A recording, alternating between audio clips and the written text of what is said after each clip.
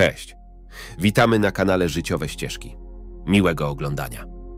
Przy zacisznej uliczce, w cieniu wiekowych drzew, stał zapomniany przez czas stary dom.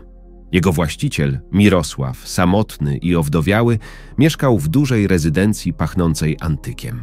Zwietrzałe tapety, antyczne meble pokryte kurzem i drogie, ale zużyte dywany tworzyły atmosferę przytulności i prywatności. Stary zegar na ścianie tyka samotnie, a schody skrzypią pod stopami, jakby przypominając dawno minione kroki. Wszystkie okna zasłonięte są ciężkimi zasłonami, które nie przepuszczają światła, sprawiając wrażenie, że dom skrywa wiele starych tajemnic. Mirosław westchnął i rozsiadł się w starym fotelu przy kominku. Jego wzrok utkwiony był w dużym portrecie żony. W jego oczach odbijała się czułość i tęsknota. Jak ja za tobą tęsknię, Kinga. Szepcze, a słowa giną w ciszy domu. Patrzy, patrzy i wspomina. Słyszy młode głosy dwóch zakochanych serc, jak echa z przeszłości. A teraz przed oczami zamiast kominka ma stare dwupokojowe mieszkanie, w którym mieszkają dwie aspirujące agentki nieruchomości. Kinga czeka na telefon od szefów, by rozpocząć współpracę z nowym klientem. Rozlega się pukanie do drzwi. Tak, kto tam? Podchodzi i pyta. To ja. Otwórz. Zabrzmiał zniecierpliwiony głos Mirosława. Odsunęła zatrzask i cofnęła się, by go wpuścić, ale zacisnęła pięści z podniecenia. Mirosław uśmiechnął się chytrze i wyciągnął z kieszeni zwitek pieniędzy. Oto nasza część. Udało mi się namówić jednego człowieka, żeby dopłacił do rezydencji, uprzedzając go, że jeden człowiek jest gotów dać za nią znacznie więcej pieniędzy. Jesteś przebiegły. Stara sztuczka zawsze działała. Ile dostałeś? Prawie 500 000. To okazja. Czyli jak zawsze 50% do skarbonki i już tylko trochę dzieli nas od spełnienia marzeń.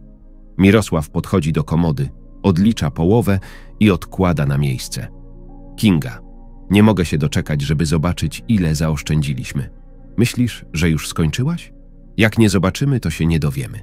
Ty policz, ręce mi się trzęsą.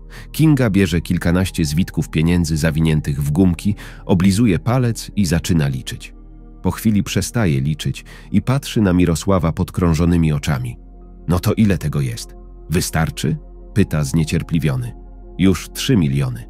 W mieszkaniu rozlega się radosny, wesoły okrzyk. Hurra, Kinga! Myślę, że nie powinniśmy się z tym spieszyć. Zakładamy własną agencję. Powiedział pełen nadziei i szczęścia Mirosław. Od tego ekscytującego momentu minęły prawie dwa lata. Mirosław i Kinga wydali wszystkie zaoszczędzone pieniądze, aby stworzyć własną agencję, że tak powiem, wszystko albo nic. Wynajęli część starego budynku, wyremontowali go, założyli biuro, zatrudnili pracowników i zaczęli reklamować. Mirosław i Kinga byli teraz współwłaścicielami agencji nieruchomości.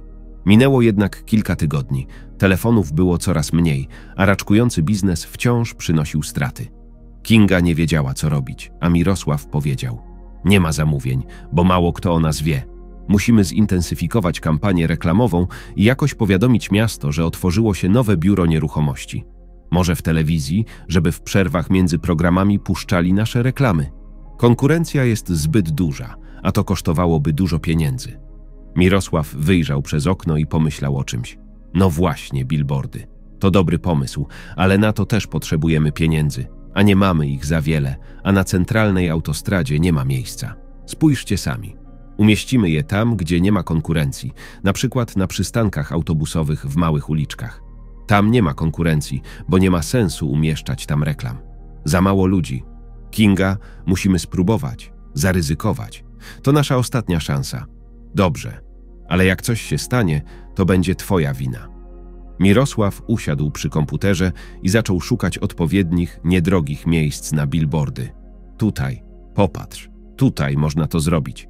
I cena jest rozsądna. Kupujemy? To zależy od ciebie. Mruknęła zrzędliwa Kinga. W porządku. Numer telefonu.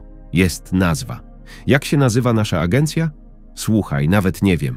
Nawet o tym nie pomyśleliśmy. O mój Boże. W porządku. Zrobimy to teraz. Mirosław spojrzał na sufit i zaczął myśleć. Potrzebujemy czegoś nietypowego. Może coś takiego. Mały domokrążca. Jest bardzo dobry. Podoba mi się. Kinga się pali. Weźmiemy to. To dobrze. Ostatnia rzecz. Nagłówek. Mam pomysł. Mirosław skończył pisać nagłówek i wyłączył komputer. No, to by było na tyle. Teraz jedyna nadzieja to te billboardy, powiedział. Zobaczymy, zobaczymy. Teraz Kinga już dodawała mu otuchy. Minął kolejny tydzień. Sytuacja w agencji zmieniła się niewiele, jeśli nie nieistotnie. Mirosław i Kinga siedzieli w swoim mieszkaniu i rozmawiali o interesach. Jeśli nie chcesz utonąć w długach, musisz sprzedać wszystko, zanim będzie za późno, powiedział Mirosław. I zrujnować wszystkie nasze marzenia? Stworzymy nową agencję. Nauczymy się na błędach. Nie mogę tak długo czekać, Mirosławie, i nie pozwolę ci sprzedać naszej agencji. Zapominasz, jak długo na to oszczędzaliśmy. Dobra, Kinga, uspokój się. Poczekajmy jeszcze trochę. Może zdarzy się cud.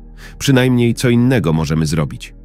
Kinga poszła do kuchni, a Mirosław wszedł do pokoju i zaczął przeglądać kanał w telefonie. Nagle zauważył bardzo znajome zdjęcie. To ich billboard. No tak, to nagłówek, który sam wymyślił.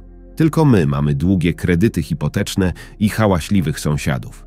Post został zatytułowany jako najzabawniejsza reklama agencji nieruchomości, jaką kiedykolwiek widziałem. Billboard zdobył ponad milion polubień i tysiące zabawnych komentarzy. Mirosław podbiegł do Kingi i krzyknął: Otwórz szybko pocztę w komputerze. Nawet nie zadała sobie trudu, by zapytać dlaczego, włączyła komputer i otworzyła wiadomość. Jezu, tylu stęsknionych pracowników i zamówień. Nasz biznes w końcu się rozkręcał. Szybko odpowiedziała. Popularność zaczęła rosnąć na fali przypadkowego sukcesu. A nowa agencja stała się dużą, rozgałęzioną firmą, która z czasem stała się jedną z najbardziej udanych i popularnych. Mirosław i Kinga zarabiali krocie, które początkowo niemal w całości szły na biznes. Budynki agencji wyrastały jak grzyby po deszczu w całym kraju i wyprzedziły wielu konkurentów w liczbie zawieranych transakcji. Po kilku latach Mirosław oświadczył się Kindze, na co czekała, i pobrali się, ponieważ znali się od dzieciństwa i kochali, jak im się wydawało, od tego samego wieku. Kupili dużą posiadłość w Moskwie, gdzie chcieli założyć prawdziwe rodzinne gniazdo, ale pewnej cichej nocy Kinga umarła spokojnie na łóżku obok śpiącego męża. Miała próg sercowy, nie wiedziałeś? Powiedział poważny lekarz po sekcji zwłok. Kompletnie zdruzgotany młody mąż przełknął gulę w gardle, nie widząc gdzie usiąść. Opadł na jakąś belę stojącą nieopodal kostnicy i wpatrywał się w pustkę oczami pełnymi żalu. Teraz Mirosław spojrzał na jej portret i przypomniał sobie szczęśliwe młode lata, które z nią spędził. Łzy spływały mu po policzkach, a głowa zaczęła boleć jak zawsze, gdy oddawał się wspomnieniom. Wkrótce zadzwonił telefon, który rozdarł cienką tkaninę wspomnień. Z irytacją podniósł słuchawkę i powiedział: Czego chciałeś? Jestem zajęty. W słuchawce odezwał się młody męski głos. To był jego prywatny sekretarz. Mirosław, na zewnątrz czeka na ciebie samochód. Mam odwołać spotkanie? Nie, nie. Mirosław jeszcze raz spojrzał w oczy Kingi. Westchnął ciężko. Już wychodzę. Niech poczeka. Nerwowo odłożył słuchawkę i wyszedł na zewnątrz, gdzie stał zaparkowany duży czarny samochód. Kierowca grzecznie otworzył przednie drzwi. Proszę, dziś nie jest mój dzień. Mirosław uśmiechnął się do niego uprzejmie. Przepraszam za czekanie. Jego partnerka wyjrzała z samochodu, otwierając tylną szybę i powiedziała do Mirosława z delikatnym uśmiechem. No, znowu jesteś w amoku smutku? Przestań się ciąć. Do czego zmierzasz? Odparł niezrozumiale Mirosław, wsiadając do samochodu. Do tego, że powinieneś żyć pełnią życia i znaleźć sobie inną żonę, jakkolwiek chamsko by to nie zabrzmiało. Ale kim ty jesteś, nawet jeśli ona umarła dawno temu? Kochałem ją i nadal ją kocham. Jeśli choćby kątem oka spojrzę na inną kobietę, całkowicie zbezczeszczę pamięć o mojej ukochanej. Towarzysz westchnął ciężko. Jest ci ciężko, odpowiedział krótko. Mirosław milczał przez chwilę, okazując swoją dezaprobatę faktem, że ten bez pytania wtrąca się w jego prywatne życie, ale mimo to zapytał. Przypomnij mi, gdzie jedziemy i po co. Na spotkanie biznesowe, centrum biznesowe. Będzie tam cały wielki biznes. Przedstawiciele z Moskwy, z Petersburga, z regionów, z zagranicy. Zapomniałeś o wszystkim? Partner był oburzony. Mamy podpisaną umowę na prawie metr. Dość tych rozważań. W porządku. Ile oferują? Pierwsza firma, która ma 40 tysięcy restauracji na całym świecie, oferuje 140 miliardów rubli prowizji i 13% zysków za pierwszy rok. Druga, zajmująca 62 miejsce w rankingu największych spółek publicznych na świecie, oferuje 270 miliardów rubli i 20% zysku za pierwszy rok. A ostatnia, trzecia, jedna z największych na całym świecie, oferuje rekordowe 1,5 biliona rubli, ale chce wziąć 50% zysku za pierwszy rok. Najwyraźniej będziemy musieli wybrać tylko jednego. Mirosław uśmiechnął się twierdząco, pół żartem – Możemy mieć wszystkie, ale wtedy zabiorą nam 88% zysku, a nieszczęsne prawie 2 biliony nie pokryją utraconej kwoty, wykrzyknął wspólnik. W porządku, zobaczymy. Tylko najpierw musimy ich namówić, żeby nas sponsorowali. To nic trudnego, skoro już są chętni. Wszystko, co musimy zrobić, to ujawnić biznesplan, aby ich przekonać. Nikt przy zdrowych zmysłach nie wyłożyłby takich pieniędzy bez jasnej i zwięzłej prezentacji. Dobrze, spróbuję. Jeśli nie jesteś w stanie zrobić tego teraz, możesz zaprzęgnąć do tego Henryka. Mówca uniósł pytająco brew. Tego kretyna? Mirosław był oburzony. Nigdy w życiu. Dlaczego w ogóle postawiłeś go w takiej sytuacji? Sam dobrze wiesz, Mirosławie. Partner wybuchnął. To najbardziej zaufany człowiek w branży. Komu można było to wszystko powierzyć? To nie jest ciemnota tej roboty. Poradzilibyśmy sobie bez zastępcy. Właśnie dlatego potrzebny jest zastępca, aby zastąpić dyrektora handlowego, gdy ten wyjeżdża na wakacje lub choruje. Dlatego ja nie wyjeżdżam na wakacje. Mirosław warknął na mnie. Nie miałem wolnego od pięciu lat, odkąd ten imbecyl został zastępcą. I o jakiej chorobie teraz mówisz, co? Przeżyje go i nie tylko jego, więc bez obaw. Cóż, jak widać jest nam wierny od dawna. Jego przeciwnik nagina jego linię. Tak, on po prostu chce moich pieniędzy, to wszystko. Jak chcesz, Mirosław. Partner skrzywił się i uniósł ręce w rozbrajającym geście. Wiesz co? Mam pakiet kontrolny w tym biznesie. Nie zapominaj o tym. Mirosław przypomniał mu stanowczo. Jak mógłbyś o tym zapomnieć? Prychnął Seweryn imię młodszego wspólnika. No, nareszcie jesteśmy. Mirosław wyjrzał przez okno. Tak, oczywiście. Oto cel podróży. Grzecznie odpowiedział szofer. Dobrze, dziękuję. Mirosław i Seweryn wysiedli z samochodu i skierowali się po marmurowych schodach do holu, a stamtąd szybko bieżną windą na odpowiednie piętro do biura, gdzie przed rozpoczęciem wielkiego spotkania czekały na nich trzy osoby siedzące przy dużym, okrągłym stole. Na stole leżały dokumenty i butelki wody pitnej. Po zauważeniu przybyłych osób wszyscy grzecznie się przywitali. Witam, panie Mirosławie. Kazał pan na siebie czekać. Zażartował jeden z obecnych. Przepraszam. Biznesmen skłonił głowę z szacunkiem. I tak, zostałem o wszystkim poinformowany przez pracowników. Jestem gotów opowiedzieć o naszym projekcie i wybrać sponsora. Słuchamy z uwagą. Mirosław usiadł na masywnym skórzanym fotelu, lekko poprawił krawat, zakaszlał i zaczął.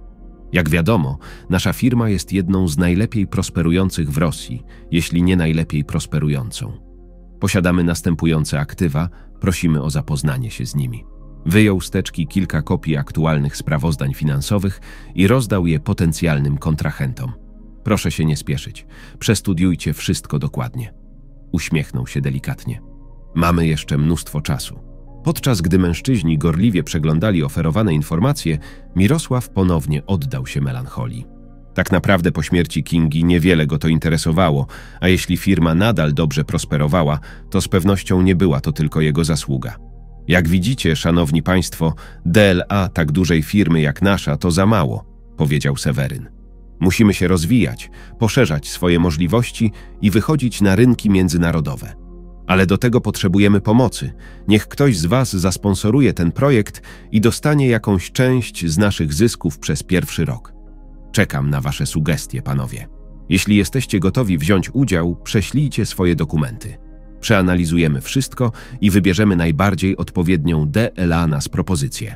Wszyscy odłożyli stos dokumentów na stół, podziękowali potencjalnym partnerom i opuścili biuro. Seweryn również wyszedł na papierosa, a Mirosław ponownie został sam ze swoimi myślami. W drodze do domu Mirosław zatrzymał się w supermarkecie, aby kupić kilka drobiazgów i karmę DLA swoich kotów. Ten obowiązek zawsze wykonywał sam. Niedaleko wejścia, na jakimś kartonie po turecku, siedziała około czternastoletnia dziewczyna. Grała na gitarze stare piosenki, które były hitami w młodości Mirosława. Przy dziewczynie leżał kapelusz, lekko wypełniony monetami. Podszedł do niej i zapytał: Ile masz lat? Ona, widząc Mirosława, nacisnęła palcem struny i odpowiedziała z uśmiechem: W tym roku mam trzynaste urodziny, trzynaście lat temu. Gdyby Kinga nie umarła, mielibyśmy już takie dorosłe dziecko. Mirosław pomyślał ze smutkiem. Wyjął z kieszeni banknot pięciotysięczny i podał go dziewczynie. Lepiej wracaj do domu. Ogrzej się, bo się przeziębisz. Powiedział krótko i wszedł do środka. Dziewczyna patrzyła osłupiała na pięciotysięczny banknot, nie wierząc w swoje szczęście. Po kilku sekundach, otrząsnąwszy się z lekkiego szoku, krzyknęła radośnie za nim. Dziękuję. I mruknęła do siebie pod nosem. Wow! Nigdy w życiu nie trzymałam takich pieniędzy. Podniosła kapelusz i pogalopowała dalej, a Mirosław chodził roztargniony po sklepie i myślał sobie pięć tysięcy rubli. Dla jednych to drobiazg, DLA innych fortuna. A ja byłem kiedyś taki młody i już szukałem sposobu na zarobienie pieniędzy. Mam nadzieję, że ten niewielki wkład pomoże jej w jej staraniach. I uśmiechnął się ciepło. Następnego dnia Mirosław odebrał telefon. Co do cholery, Mirosław, zaczął oburzony Seweryn, nawet się nie witając. Wciąż nie podpisałeś papierów sponsorskich. Myślisz, że będą na nas czekać w nieskończoność? Dobra, dobra, nie denerwuj się tak. Musiałem to przemyśleć. Przecież nikt im nie obiecał, że decyzja zapadnie wczoraj. Nie wiesz, że to ostateczny termin? Tak, ale. Żadnych ale. Mirosław powiedział surowo. Nie wciskaj mi kitu. Podpisanie dokumentów zajęłoby pięć minut, ale wściekły Mirosław postanowił nie przeciągać sprawy, skoro już podjął decyzję. Poza tym znał charakter Seweryna, który zawsze musiał się spieszyć. Tym razem wziął samochód i sam pojechał do biura. Przejeżdżając obok supermarketu, z jakiegoś powodu postanowił zawrócić, usprawiedliwiając się tym, że zapomniał wczoraj kupić papierosy.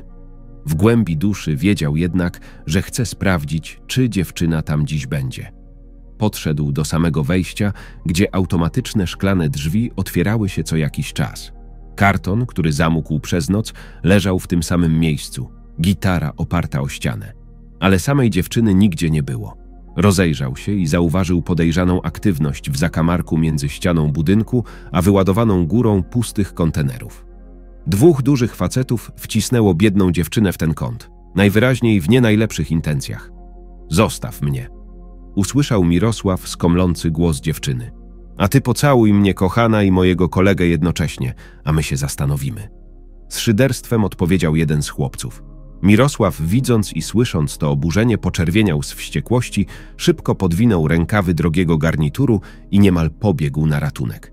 Bez żadnego ostrzeżenia czy rozmowy zacisnął pięść i dość gwałtownie, z zamachem, z odciągnięciem, uderzył jednego z odwróconych chłopaków prosto w szczękę. Cios był tak potężny, że przegub złoczyńcy chrupnął. Dolna część jego twarzy zmieniła kolor na szkarłatny, a on sam zwalił się na ziemię z głośnym okrzykiem bólu i oburzenia. Dziewczyna wrzasnęła z zaskoczenia i zakryła twarz dłońmi. Drugi sprawca szybko obliczył swoje szanse i uciekł z miejsca zdarzenia. Bardzo dziękuję za pomoc. Drżąc, powiedziała dziewczyna, a następnie, widząc twarz swojego wybawcy, zawołała podekscytowana. Och, to ty, dobry wujek. Tak, to ja. Spokojnie, przytaknął Mirosław. Ale po co znowu tu przyszedłeś? Czekałem, żeby dać ci trochę pieniędzy, żebyś już nie stała na mrozie. Dziewczyna milczała i patrzyła w podłogę. Tak, dlatego wróciłam do domu wcześniej niż zwykle i zastałam tam mamę. Zawahała się, szukając odpowiedniego słowa, ale po chwili zdecydowanie poruszyła brwiami i wypluła z siebie niewygodne. Z kochankiem. Wypowiedziane wręcz wyzywająco, jakby nieszczęśliwe dziecko usprawiedliwiało swoją przedwczesną i straszną wiedzę o ciemnej stronie życia. Mirosław milczał, z lekko poruszonymi brwiami i czekał, co będzie dalej. Zobaczyła mnie, a ja jak głupi tkwiłem w drzwiach, gapiąc się na nich. Dziewczyna zmarszczyła brwi, zawstydzona po wszystkim. A potem? zapytał Mirosław, nerwowo grzebiąc w kieszeniach w poszukiwaniu papierosów. A potem? Wstała i pobiła mnie jak zawsze. Dziewczyna wzruszyła ramionami, ale pieniądze też zabrała. Mirosław nie mógł uwierzyć w to, co słyszy. To straszne. Gdzie jest twój ojciec? W więzieniu. Mirosław widział w oczach dziewczyny cierpienie i strach.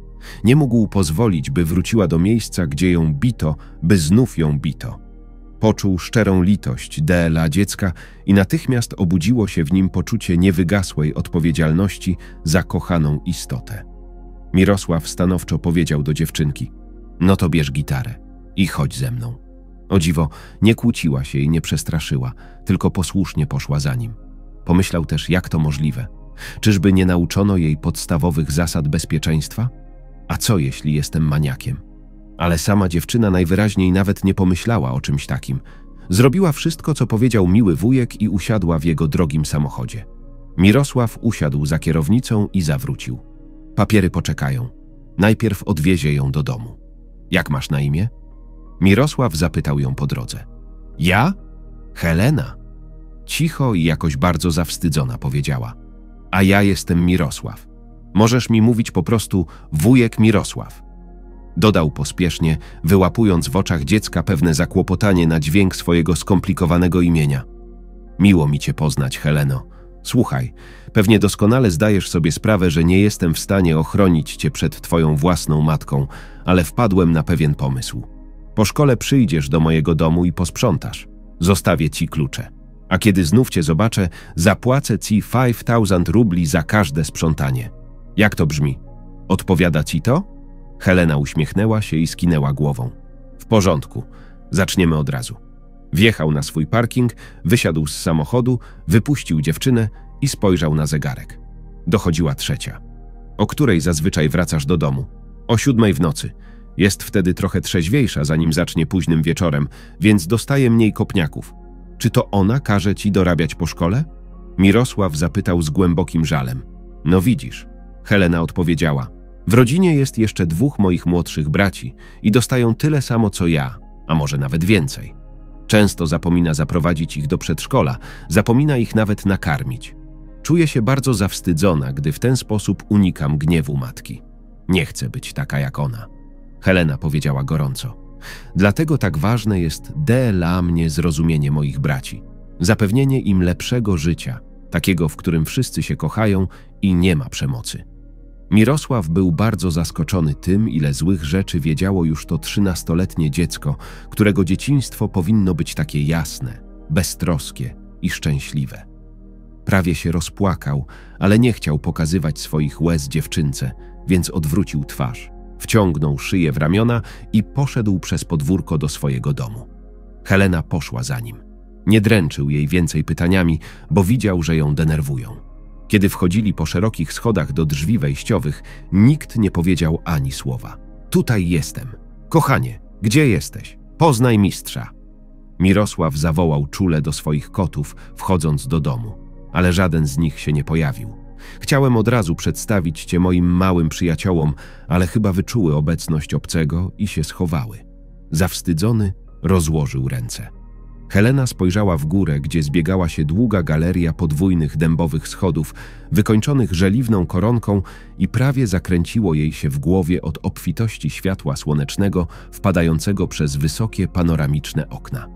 Co za dom, powiedziała Helena z podziwem. Dokładnie. I cały ten dom musi być czysty i biały, od brudnych podłóg po niepozmywane naczynia, dlatego płacę ci takie pieniądze. Oto praca i dobra kryjówka. Ty trzymasz klucze do domu, przychodzisz tu codziennie i robisz swoje. To wszystko. Muszę już iść. Heleno, wiedz, że jesteś tu zawsze mile widziana. Przychodź o każdej porze. Nie krępuj się. Powiedział Mirosław, zostawił ją pod opieką gosposi, która wysłała wiadomość z niezbędnymi informacjami, opuścił dom i ponownie wyjechał w interesach. Helena uśmiechnęła się i pomachała ręką przez okno do samochodu Mirosława – Następnie odwróciła się do surowej kobiety w prostej niebieskiej sukience, która bacznie ją obserwowała i powiedziała z czarującym uśmiechem. Mycie podłóg nie zajmie nawet tygodnia. Nie trzeba będzie myć podłóg. Roześmiała się. Myślę, że znajdziemy DLA ciebie coś ciekawszego do roboty. Wiesz, jak dbać o kwiaty? Kwiatami? Zapytała Helena. Cóż, mieliśmy kiedyś kilka fiołków w kuchni. Dobrze, chodź ze mną. Zarządca domu skinął głową i zaprowadził ją do oranżerii. Helenie zaparło dech w piersiach, gdy tylko weszła do tego rajskiego miejsca. Wszędzie były ogromne rolki roślin, a z wysokiej szklanej kopuły zwisały pnącza. Gdzieniegdzie stały klatki z jasnymi, fantazyjnie wyglądającymi kwiatami, które znała, ale większość była jej nieznana. Schludne wiklinowe krzesła stały w gąszczu palm, a ogromny rudy kot, puszysty i ciepły jak słońce, wyciągnął się i podszedł do nich spokojnym krokiem. Ach, to ty, musisz być dzieckiem. Helena uśmiechnęła się do niego radośnie. Zgadza się, uśmiechnęła się kobieta. To naprawdę nasze dziecko, ale kot gdzieś zniknął. Ale nic nie szkodzi, wkrótce ją spotkasz. A tymczasem masz tu szmatę, żeby wszędzie odkurzyć. Na tych szklanych stołach, na półkach i na półkach. Widzisz? Kiedy skończysz, naciśnij ten przycisk, a ja przyjdę i pokażę ci, jak prawidłowo podlewać kwiaty. Helena skinęła głową i zabrała się do pracy. Było ciepło. Słońce świeciło jasno, załamując się w niezliczonych fasetowanych szybach, które otaczały szklarnię. Kiedy skończyła odkurzać, przeszła się po oranżerii i kilku innych pokojach w pobliżu, podziwiając, jak bogato żyli ludzie. Była tam sala bilardowa, biblioteka z wieloma regałami sięgającymi od sufitu do podłogi, a nawet własny basen. To szczególnie działało na jej dziecięcą wyobraźnię. Potem przyszła Krystyna, jak miała na imię kierowniczka, i spędziła dobre pół godziny, ucząc Helenę, jak dbać o kapryśne szklarniowe kwiaty. Te kilka godzin minęło prawie niezauważenie. Helena spojrzała na zegar w swoim starym telefonie i przeraziła się. Było w pół do siódmej, a ona musiała jeszcze iść do sklepu, zrobić obiad i nakarmić bliźniaki. Szczęśliwym trafem Mirosław, którego nie było dziś w biurze, wrócił wcześniej i odwiózł ją do sklepu, a potem do domu. Wręczywszy jej obiecaną pensję, pożegnał się z dziewczyną i westchnął ciężko, patrząc jak otwiera obskurne drzwi szarego, wyłożonego boazerią bloku. Helena wbiegła po schodach na swoje czwarte piętro. Prawie nigdy nie korzystała z windy. Tak było znacznie szybciej. A dziś dodatkowo uczciwie zarobione pięć tysięcy, które wydawało jej się całym milionem, dodawało jej sił do radości. Otworzyła drzwi i ostrożnie weszła do mieszkania, mając nadzieję, że matka już śpi. Helena rozebrała się po cichu i na palcach przeszła do kuchni, mijając pokój matki. Miała szczęście. Dźwięk telewizora zagłuszał jej ostrożne kroki. Ale wtedy, prawie dochodząc do drzwi, przypadkowo nadepnęła na przeklętą i skrzypiącą deskę podłogową.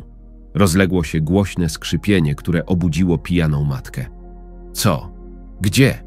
Mamrotała przez sen, wychodząc na korytarz. Zabrałeś swoich braci? Nie. Przyniosłam mięso do środka, bo przecieknie. Pójdę po nich. Odparła Helena, mając rozpaczliwą nadzieję, że nic jej się nie stanie. Wynoś się stąd krzyknęła matka i rzuciła w córkę zabłoconym kapciem. Tak, mamo, już idę. Helena mamrotała, wkładając zakupy do lodówki. Poczekaj chwilę. Chodź na piwo. Mamo, nie sprzedadzą mi go. Ty bezużyteczna suko. Twoja matka była wściekła. Urodziłam cię, cierpiałam i ty. Jak możesz tak odmawiać swojej matce? Z pijanym spojrzeniem rozejrzała się po pokoju i natrafiła na pustą butelkę po tanim piwie. Helena, zdając sobie sprawę, co chce z nią zrobić, wybiegła sprintem przez drzwi, unikając rzutu. Gdy znalazła się w przedpokoju, zbiegła po schodach. Gwałtownym pchnięciem otworzyła ciężkie, sprężynowe drzwi i zatrzasnęła je, wydając dźwięk przypominający wystrzał.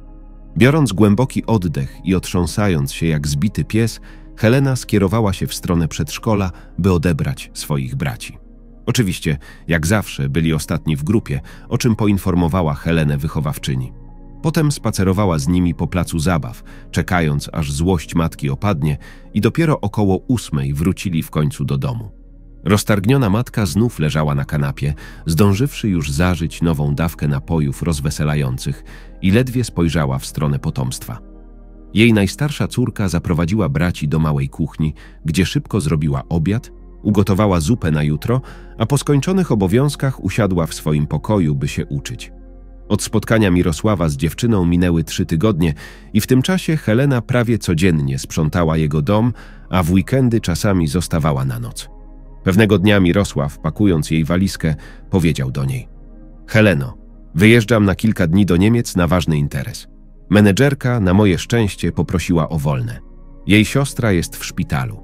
Powierzam ci klucze i pamiętaj, żeby zamknąć za sobą drzwi, kiedy będziesz wychodzić.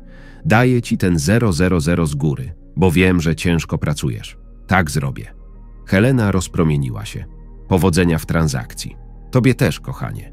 Powiedział Mirosław i odjechał gdzieś samochodem, a Helena została sama w wielkiej rezydencji, którą zdążyła już dobrze poznać. Helena miała dobry zmysł orientacji w domu i kiedy czegoś potrzebowała, znajdowała to natychmiast. Kiedy Helena była w domu Mirosława, opowiedział jej wiele historii o swoim życiu, a nawet o swojej żonie, co wcześniej robił niechętnie. Pokazał nawet tej słodkiej dziewczynie portret Kingi. Tak bardzo jej ufał. Helena też ufała Mirosławowi i czasem zapominając się, nazywała go tatusiem. Oczywiście od razu się rumieniła i była bardzo zawstydzona. Kochała własnego ojca. On, w przeciwieństwie do jej matki, nigdy nie pozwolił sobie na podniesienie ręki na dzieci. Był pogodnym, wręcz wesołym człowiekiem. Pił niemało, ale nie upijał się i nie złościł, a wręcz przeciwnie, stawał się opiekuńczy i miły. Dawał Helence i chłopcom kieszonkowe i kupował im lody. Tymczasem Mirosław jechał do Niemiec podpisać umowę na budowę biurowców agencji nieruchomości w kilku landach. Ostatecznie podpisał umowę o współpracy z największą firmą z całej trójki, która płaciła mu półtora biliona, ale przez pierwszy rok działalności miała otrzymywać 50% zysków ze sprzedaży zagranicznej. Po zwykłym sprzątaniu w rezydencji, Helena miała jeszcze tego dnia trochę czasu na pracę w ogrodzie, który bardzo lubiła. Przycinanie krzewów, oczyszczanie podwórka z liści itd. Na prośbę Heleny Mirosław kupił wszystkie przybory ogrodnicze i położył je przy drzwiach, aby nie musiała ich długo szukać i od razu zabrała się do pracy. W rzeczywistości dziewczyna nie miała oczywiście żadnego doświadczenia w przycinaniu krzewów, ale była chętna do nauki. Zrobić kilka figurek z liści. Wzięłaby duże nożyce ogrodowe i bardzo brzydko przycięła krzew, tak by powstał coś na kształt kwadratu. Mirosław nie sprzeciwiał się, tylko śmiał się z jej pomysłu. Krzewy odrosną, ale dziecko będzie miało frajdę. Gdy już prawie skończyli ozdabiać pierwszy krzak tego dnia, Helena usłyszała jakieś zamieszanie za bramą. Przestraszona, że mogą to być złodzieje, schowała się za listowiem i spokojnie obserwowała. Z bocznej bramy wyszedł mężczyzna w czarnych rękawiczkach i kominiarce, rozglądając się powoli. Wszedł przez nią, rozejrzał się we wszystkich kierunkach i nerwowo ściągnął ją, biorąc głęboki oddech. Zmęczony. Helena się domyśliła.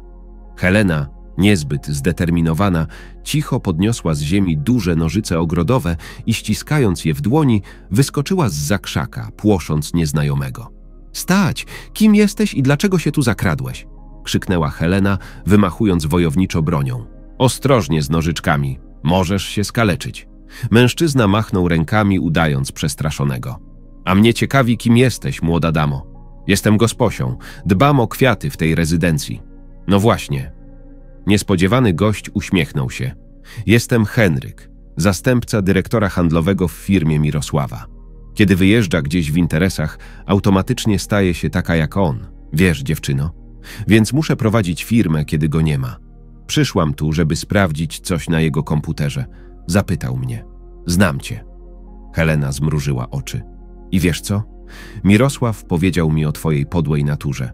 Powiedział mi, że jesteś draniem i chcesz tylko jego pieniędzy, a ty tu nie przyszłaś, tylko się zakradłaś. Co ty mówisz, dziewczyno? On mi całkowicie ufa. Ufa mi całkowicie. Helena warknęła na niego. Widzę, że nie dał ci kluczy, więc wkradłaś się przez boczną bramę. Swoją drogą, jak ją otworzyłaś. Więc masz klucze przy sobie. Daj mi je, zanim będzie gorzej. Powiedział Henryk i przysunął się bliżej dziewczyny. Masz ochotę na smażone gwoździe? Nie poddaje się tak łatwo. To DLA ciebie, nie DLA kluczy.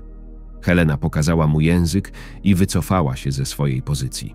Henryk zrobił się czerwony jak pomidor ze złości i wściekłości. Nie powiedział nic więcej. Chwycił z ziemi jakieś narzędzie, których Helena rozłożyła pod dostatkiem, w dwóch skokach dogonił ją i z całej siły uderzył w głowę.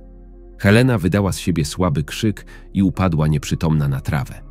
Łajdak pochylił się nad nią i zaczął opróżniać jej kieszenie. Ale gdzie je schowałaś? Mruknął gniewnie. Tam, znalazłem. Uśmiechnął się i wyciągnął klucze.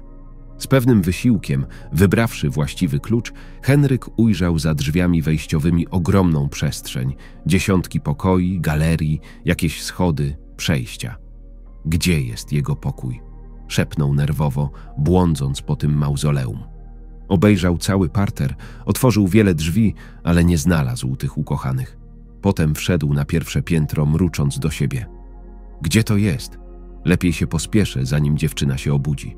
Nawet jeśli uderzyłem ją tak mocno, nie sądzę, żeby się obudziła. Gosposia. Jest trochę za mała do takiej pracy. W końcu znalazł biuro. Na biurku stał duży komputer. Usiadł na krześle i zaczął stukać w klawisze, przesuwając szybko dłońmi po klawiaturze. No dalej, dalej.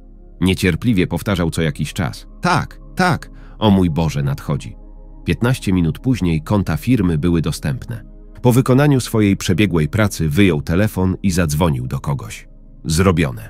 Po drugiej stronie kabla rozległ się ponury głos. Tak, teraz nie masz już konkurencji, a my mamy wszystkie pieniądze tego idioty. Nie my, tylko ja. Ciężki, basowy głos powiedział władczo. Co ty sobie wyobrażasz? Przepraszam. Źle się wyraziłem. Henryk spanikował i zarumienił się. W porządku, uspokój się. Najważniejsze to się nie wychylać. Jeśli zostaniesz aresztowany i coś wygadasz, żadna odsiadka cię nie uratuje, rozumiesz? Oczywiście, że tak. Tak się stanie. Nie odzywaj się. Henryk odłożył słuchawkę i westchnął ciężko. Potem spojrzał na swój mobilny bank, zobaczył porządną sumkę na koncie, uśmiechnął się radośnie i pospiesznie wyszedł z domu, zostawiając nieprzytomną nastolatkę z urazem głowy leżącą na zimnej jesiennej trawie. W tym samym czasie Mirosław dotarł już na lotnisko, wziął taksówkę i skierował się do hotelu. W recepcji zapytał po niemiecku. Dzień dobry, mam zarezerwowany pokój na swoje nazwisko. Pokazał paszport. Dobry wieczór. Wszystko jest gotowe, proszę pana, oto klucze. Portier uśmiechnął się i odpowiedział po rosyjsku. Mirosław odsunął się od recepcji i spojrzał na numer klucza. To musi być trzecie piętro. Powiedział do siebie i poszedł do windy. W pokoju od razu położył się na łóżku, które było udekorowane płatkami róż. Na stoliku nocnym leżał komplement z drogiego hotelu, kosz prezentowy z szampanem, słodyczami i owocami. W szafie wisiały śnieżno-białe szlafroki z emblematem hotelu, puszyste ręczniki, starannie złożone w stosy. Pokój był oczywiście apartamentem, innych Mirosław nie rezerwował. Po około 15 minutach wstał z łóżka, rozebrał się, założył szlafrok i kapcie i rozsiadł się wygodnie przy telewizorze. Z przyjemnością oglądał jeden z niemieckich programów. Nagle zadzwonił do niego telefon. Tak, odpowiedział niezbyt zadowolony. Mirosław usłyszał w słuchawce upadły głos Seweryna. Mamy złe wieści. Serce Mirosława zacisnęło się gwałtownie. Mów, zażądał podekscytowany. Właśnie odkryłem, że wszystkie nasze konta zostały anulowane. Co to znaczy? wykrzyknął Mirosław. Nasi programiści ustalili, że operacji dokonano z twojego domowego komputera. Złamali hasło. Na początku myślałem, że to ty wypłaciłeś pieniądze na ten duży interes, ale pieniądze zostały wypłacone o szóstej wieczorem, akurat jak zjeżdżałeś z rampy. Myślę, że to była dziewczyna, która DLA ciebie pracuje. Wiedziałem, że to ona. O czym ty mówisz, Seweryn? Mirosław przerwał mu gniewnie. Helena nigdy by czegoś takiego nie zrobiła. Ufam jej całkowicie. Mam drugie przypuszczenie, kto mógł to zrobić. I kto to jest? Widzi pan, dzisiaj około piątej ochroniarz widział, jak Henryk w strasznym pośpiechu opuszcza biuro, a godzinę później wydarzyło się to wszystko. Próbowałem się do niego dodzwonić, ale jest poza zasięgiem. Wiedziałem, że Henryk chce tylko moich pieniędzy. Mówiłam ci, zawsze ci mówiłam. Ten drań, nasza firma jest bankrutem, jesteśmy bankrutami. Seweryn wrzasnął histerycznie. Dobra, nie krzycz, Seweryn. Szef wydyszał zmęczony. Już jadę a Mirosław znów siedział w samolocie i po prostu nie mógł uwierzyć w to, co się dzieje. Tyle lat minęło od początku podróży, a teraz wszystko zostało zniszczone w jednej chwili. Tyle pieniędzy i dziesiątki lat zmarnowane, jakby Mirosław został porażony prądem. Boże, jakim ja jestem głupcem. Siedzę tu i myślę o pieniądzach, nie myśląc nawet o Helenie. Była wtedy u mnie w domu. Co ja takiego zrobiłem? Zostawiłem małą dziewczynkę, żeby pilnowała domu, a ten drań mógł jej zrobić wszystko. Helena. Jęknął głośno z rozpaczy, zaciskając zęby z bezsilności, że nie może nic z tym zrobić. a Helena wciąż leżała nieprzytomna na zimnej i mokrej trawie. Na zewnątrz już dawno zapadł zmierzch. Jej twarz była trupio blada i można by pomyśleć, że odeszła z tego świata. Ale Helena wciąż oddychała. Stopniowo jej oczy powoli się otwierały. Na początku widziała tylko zamglone cienie, ale potem zarys krzaków i szare niebo nad nimi zaczęły powoli wyłaniać się przed jej przywracającym wzrok spojrzeniem. Serce Heleny biło gorączkowo, jakby świętując jej powrót do życia. Z każdą mijającą sekundą odzyskiwała czucie w swoim ciele, a otaczający ją świat stawał się coraz bardziej realny. Wkrótce w pełni zdała sobie sprawę, że leży na trawie, że odczuwa ból i jest jej strasznie zimno. Wyciągnęła rękę i podniosła ją do pulsującej boleśnie skroni, próbując przypomnieć sobie, co się stało. Głowa mnie boli. Jęknęła. Helena rozejrzała się, grzebiąc rękami w trawie. Jej pamięć odświeżyła się, gdy sięgnęła po leżące nieopodal nożyce ogrodowe. Na zewnątrz było już znacznie ciemniej niż ostatnim razem, gdy wróciła do domu. Helena zdała sobie sprawę, że leży tu od kilku godzin i w domu czekają chłosta. Wstała powoli, nogi jej się trzęsły, ale wciąż była w stanie się poruszać. Klucze do rezydencji znalazła na betonowej ścieżce obok domu i wsunęła je z powrotem do kieszeni. Powoli, bardzo powoli, prawie czołgając się, przeszła metr po metrze na przystanek autobusowy. Przechodnie, zauważając zakrwawioną głowę Heleny, kręcili tylko z dezaprobatą głowami, nie okazując empatii. Tylko jedna życzliwa kobieta podeszła do niej i zapytała: Dziewczyno, wszystko w porządku? Gdzie są twoi rodzice? Mam wezwać karetkę? Helena nie chciała odpowiadać na żadne pytanie i machnęła ręką, pokazując, że nic jej nie jest, po czym poszła dalej. W końcu dotarła do swojego domu i weszła do środka, doskonale wiedząc, co się zaraz wydarzy. W dużym pokoju, jak zawsze, głośno grał telewizor, a jej matka siedziała na kanapie i paliła papierosa. Helena zakrztusiła się śmierdzącym dymem z papierosów, matka usłyszała jej kaszel, odwróciła się i spojrzała na córkę rozgorączkowanym wzrokiem. Gdzie ty się znowu podziewałaś? Co się z tobą dzieje do cholery? Wskazała końcem zapalonego papierosa na swoją głowę. Upadłam, mamo. Ty niezdarny głupcze. Co ja mam teraz z tobą zrobić? Nie możesz choć raz pomóc swojej córce? Helena nie wytrzymała i wykrzyczała to w duchu. Kiwnęła powoli głową, zgniotła papierosa w puszce na podłokietniku kanapy, wstała i podeszła do dziewczyny. Helena spodziewała się jakiejś troski, pomocy, ale dostała tylko policzek, który niemal zwalił z nóg i tak już wyczerpaną dziewczynę. Znowu będziesz krzyczeć na matkę, co? Nic nie słyszę. Helena nie odpowiedziała. Usiadła na brudnej podłodze, skuliła się i ryknęła. Jej matka była wściekła, więc złapała córkę za włosy i ciągnęła ją po podłodze, krzycząc: Ty niewdzięczna suko, urodziłam cię, wychowałam, wychowałam i ty. Krzyczała długo, a cały standardowy zestaw gniewnych frazesów został wylany na biedną dziewczynę po raz kolejny za nic. Matka przestała dopiero, gdy zobaczyła, że z kieszeni córki wypadły dwa duże banknoty. Oczy kobiety rozszerzyły się. Co to jest? Skąd masz takie pieniądze? Odpowiadaj szybko, zanim zatłukę cię na śmierć. Helena, już pobita i okaleczona, poczuła ból w sercu, ponieważ nie mogła zdradzić swojej tajemnicy matce. Dziewczyna uparcie milczała i czekała na kontynuację bicia. Oczy matki były czerwone z wściekłości i gniewu. Nie zdając sobie sprawy z tego, co robi, zamachnęła się nogą i uderzyła córkę prosto w brzuch, krzycząc przy tym: Odpowiedz! Odpowiedz mi, ty draniu! Nie! Ty, suko! Helena wpadła w prawdziwą histerię. Ty, dziwko! Zrobię ci krzywdę! Helena przykucnęła, zakrywając głowę rękami. Proszę, robisz mi krzywdę. Z trudem wydusiła z siebie. Daję ci ostatnią szansę. Powiedz mi, skąd pochodzą pieniądze. Helena odczekała kilka sekund, by złapać oddech, po czym powiedziała cicho. Pracowałam, jako gosposia. I nawet mi nie powiedziałaś?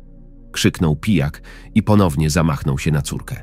Helena skuliła się jeszcze bardziej ze strachu, czekając na ostateczny cios, który całkowicie ją złamie. Ale matka zawahała się, w napięciu coś rozważając. Opróżnij kieszenie. Warknęła w końcu. Helena wciąż trzymając się za brzuch, wyjęła z kieszeni pęk kluczy i powiedziała: To klucze do rezydencji, w której pracuję. Właściciel domu dał mi je, abym mogła wejść nawet wtedy, gdy nie ma go w domu. Czy jest teraz w swoim domu? Nie, wyjechał na dwa dni do Niemiec. Matka natychmiast wpadła na genialny pomysł. Nuciła triumfalnie. Dobra, dobra dziewczynka, a teraz idź do swojego pokoju. Muszę iść na spacer z twoimi braćmi. Helena, zdając sobie sprawę, co zamierza jej matka, gorączkowo chwyciła ją za rękaw. Proszę, nie. Próbujesz mi mówić, co mam robić, ty dupku? Matka wyrwała jej rękę, wzięła klucze i wyszła do wejścia, a dziewczynka, szlochając i trzymając się za brzuch, powędrowała do łazienki, żeby się trochę umyć. Wczesnym rankiem następnego dnia Mirosław odleciał do Rosji, gdzie na lotnisku czekał na niego samochód. Usiadł na tylnych siedzeniach obok Seweryna. Jedźmy w kolejności, stary. Jakie wieści? Dowiedzieliśmy się, że Henryk rzeczywiście pracował DLA naszej konkurencji. Tak podejrzewałem. Mirosław zacisnął zęby. Dlaczego?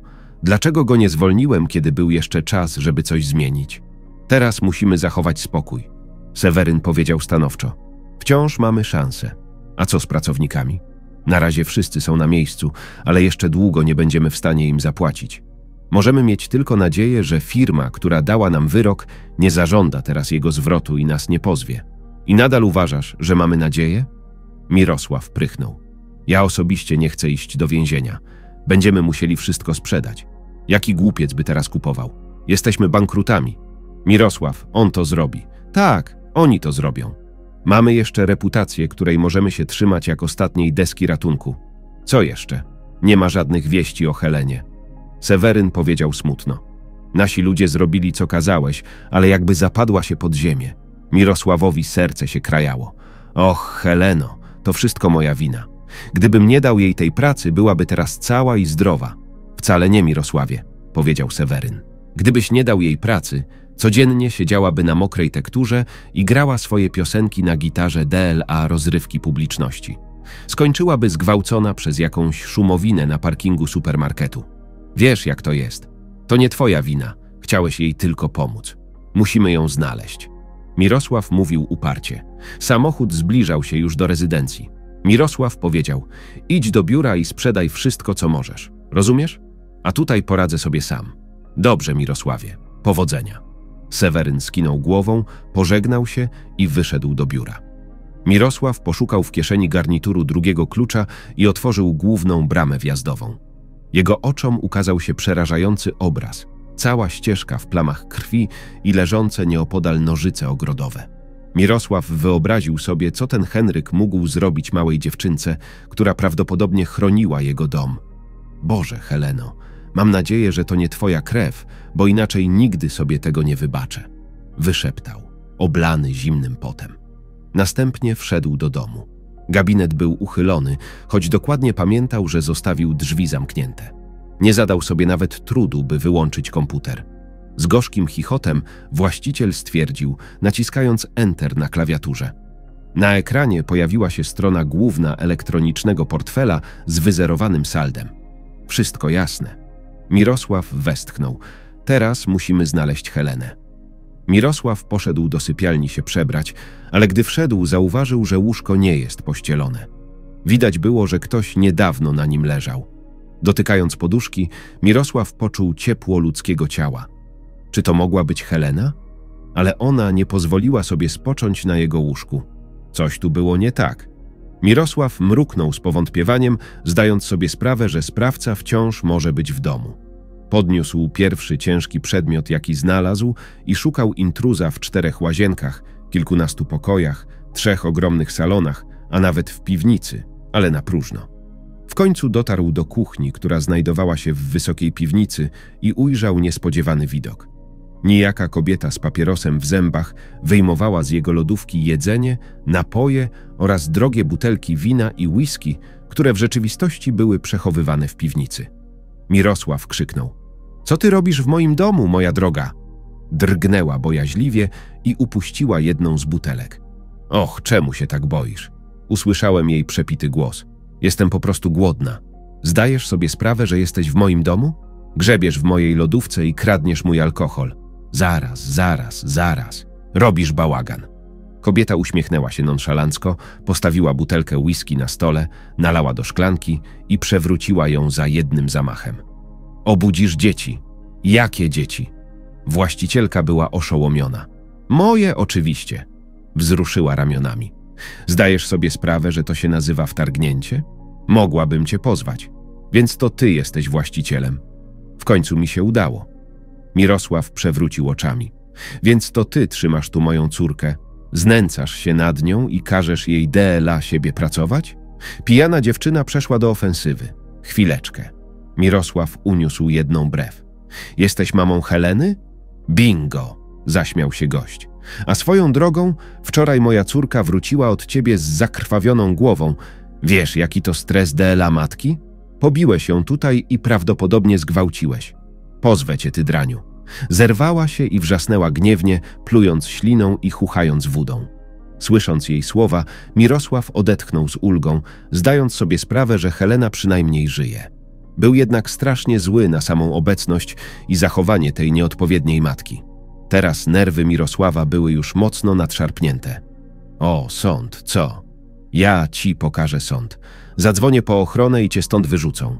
Wynoś się stąd, zanim osobiście cię tym uderzę. Zrobił krok do przodu i z wahaniem przyjrzał się ciężkiej ebonitowej lasce, którą trzymał w dłoni. Nie obchodzi mnie, czy jesteś matką Heleny. Nie będę tolerował czegoś takiego w moim własnym domu. Wynocha, powiedziałem. Wynocha. Czekaj, czekaj, ty człowieku. Chyba coś źle zrozumiałeś. Ustąpiłem nieco ze swojego stanowiska, ale nadal nie chciałem się ustatkować. Mirosław zamachnął się laską i spojrzał na nią wzrokiem pełnym złości, jakim nigdy wcześniej na nikogo nie patrzył. Właśnie tak, właśnie tak. Kobieta uniosła ręce nad głowę na znak odwrotu. Idę, idę.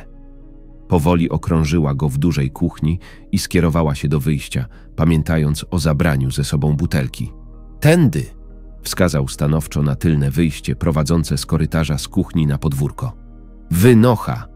Och, stój! Nagle coś sobie przypomniał. Jak się tu dostałeś? Ukradłem Helenie klucze. Zgadza się. Oddaj je, bo inaczej. I znów groźnie wysunął laskę do przodu. Stój! Z pogardliwym grymasem przerzuciła pęk przez ramię, nawet się nie odwracając, i ruszyła przez podwórze. Mirosław upewnił się, że idiotka opuściła jego posesję i dobrze zamknął obie furtki. Był wściekły i zmęczony do granic możliwości, ale w głębi serca czuł się spokojniejszy. Helena żyła i jak wszystko na to wskazywało, była bezpieczna w domu. Jakieś pół godziny po odjeździe Alkierza Mirosław odebrał telefon. Mirosław, dzwoniłem na policję, zaraz będą u ciebie. O co chodzi? Mirosław, który nie lubił mieć do czynienia z władzą, zmarszczył brwi. Wiemy już, że zrobił to Henryk i że pracował DLA naszego konkurenta. Tak, ale musimy też udowodnić nasze oskarżenie. Zwłaszcza jeśli policja go złapie i przyzna się do winy, będziemy mogli pozwać firmę, która go zatrudniła i odzyskać nasze pieniądze. Wiesz co? To świetny pomysł. Zadzwoń do mnie. Będę czekał. Jasne. Wkrótce przyjechały dwa radiowozy wraz z prywatnym detektywem, profesjonalistą. Dobry wieczór. Przywitał się z właścicielem. Nazywam się Bogdan. Przyjechałem na prośbę Seweryna, pańskiego wspólnika. Mogę wejść? Dzień dobry. Tak, oczywiście, proszę wejść. Bogdan wyjął z samochodu walizkę z narzędziami, założył rękawiczki i wszedł na posesję. Dobra, najpierw muszę się rozejrzeć po podwórku. Najprawdopodobniej, jeśli brama była zamknięta, sprawca się przez nią wspiął, powiedział Bogdan, rozglądając się dookoła. Swoją drogą na tym trawniku leżały nożyce ogrodowe mojej gosposi i wszędzie jest krew. Skarżył się właściciel. Bogdan ostrożnie podniósł nożyce i posypał je proszkiem, po czym powiedział: Nie ma odcisków dorosłego mężczyzny, co oznacza, że pracował w rękawiczkach. Co się stało z samą gosposią? Nie wiem, ale zgaduję, że sprawca uderzył ją czymś ciężkim.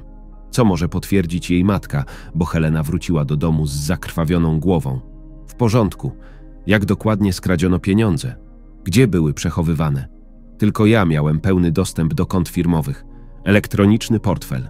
Złodziej dostał się do domu i przeniósł gdzieś wszystkie aktywa. Może uda nam się prześledzić historię płatności klientów. Nie, oczywiście skasował je wszystkie. Podczas gdy oni będą w jego biurze szukać elektronicznych śladów, ty i ja zajmiemy się zwykłymi. Tak, nie ma sensu szukać tam jego odcisków palców. Mirosław zgodził się. W biurze chyba nie zdjął rękawiczek. Bogdan rozejrzał się po podwórku i zauważył w rogu kamerę, która była skierowana wprost na nich. Chwileczkę. Macie tu kamerę. Czy ona działa? Myślę, że tak. Mirosław wzruszył ramionami. Nigdy jej nie używałem. Pokaż mi pokój z monitorami. Ta kamera mogła nagrać wszystko, co się tu działo. Jest na trzecim piętrze. Chodźmy. Weszli do samego domu i udali się na trzecie piętro. Bogdan zaczął przewijać czas nagrania do wybranej daty. Na monitorze widać było mężczyznę, który odjechał gdzieś samochodem. To ja. Był ranek i moja gosposia mnie odprowadzała, powiedział Mirosław. Bogdan przyspieszył nieco do wieczora. Helena była zajęta przycinaniem krzewów w ogrodzie. Oto i sama gosposia, i same nożyce ogrodowe, zauważył Mirosław. Nagle z zapłotu wyszedł jakiś mężczyzna i Helena natychmiast schowała się w krzakach. Wiedziałem, że to Henryk.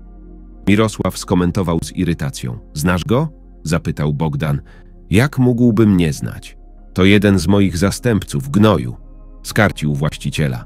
Zawsze chce położyć łapy na moich pieniądzach. Pojawiła się twoja gosposia, zauważył Bogdan. Helena i Henryk rozmawiali ze sobą na nagraniu. Po twarzy dziewczyny widać było, że się boi, ale nie okazywała tego, a nawet groziła sprawcy. Trzymała w ręku nożyce ogrodowe i wymachiwała nimi, próbując przestraszyć przeciwnika. Henryk uderzył dziewczynę w głowę. Ta upadła, a Mirosław krzyknął: Jezu, biedna Helena! Henryk znalazł klucze i wszedł do domu. Tu Bogdan zatrzymał taśmę. Już wszystko jasne. Rozpoznaliśmy sprawcę. Musimy tylko pokazać to nagranie policji. Jeśli nadal jest w kraju, złapią go. Dziękuję bardzo, Bogdan. Sam nigdy bym nie wpadł na to, żeby obejrzeć te nagrania. Mirosław uśmiechnął się zakłopotany.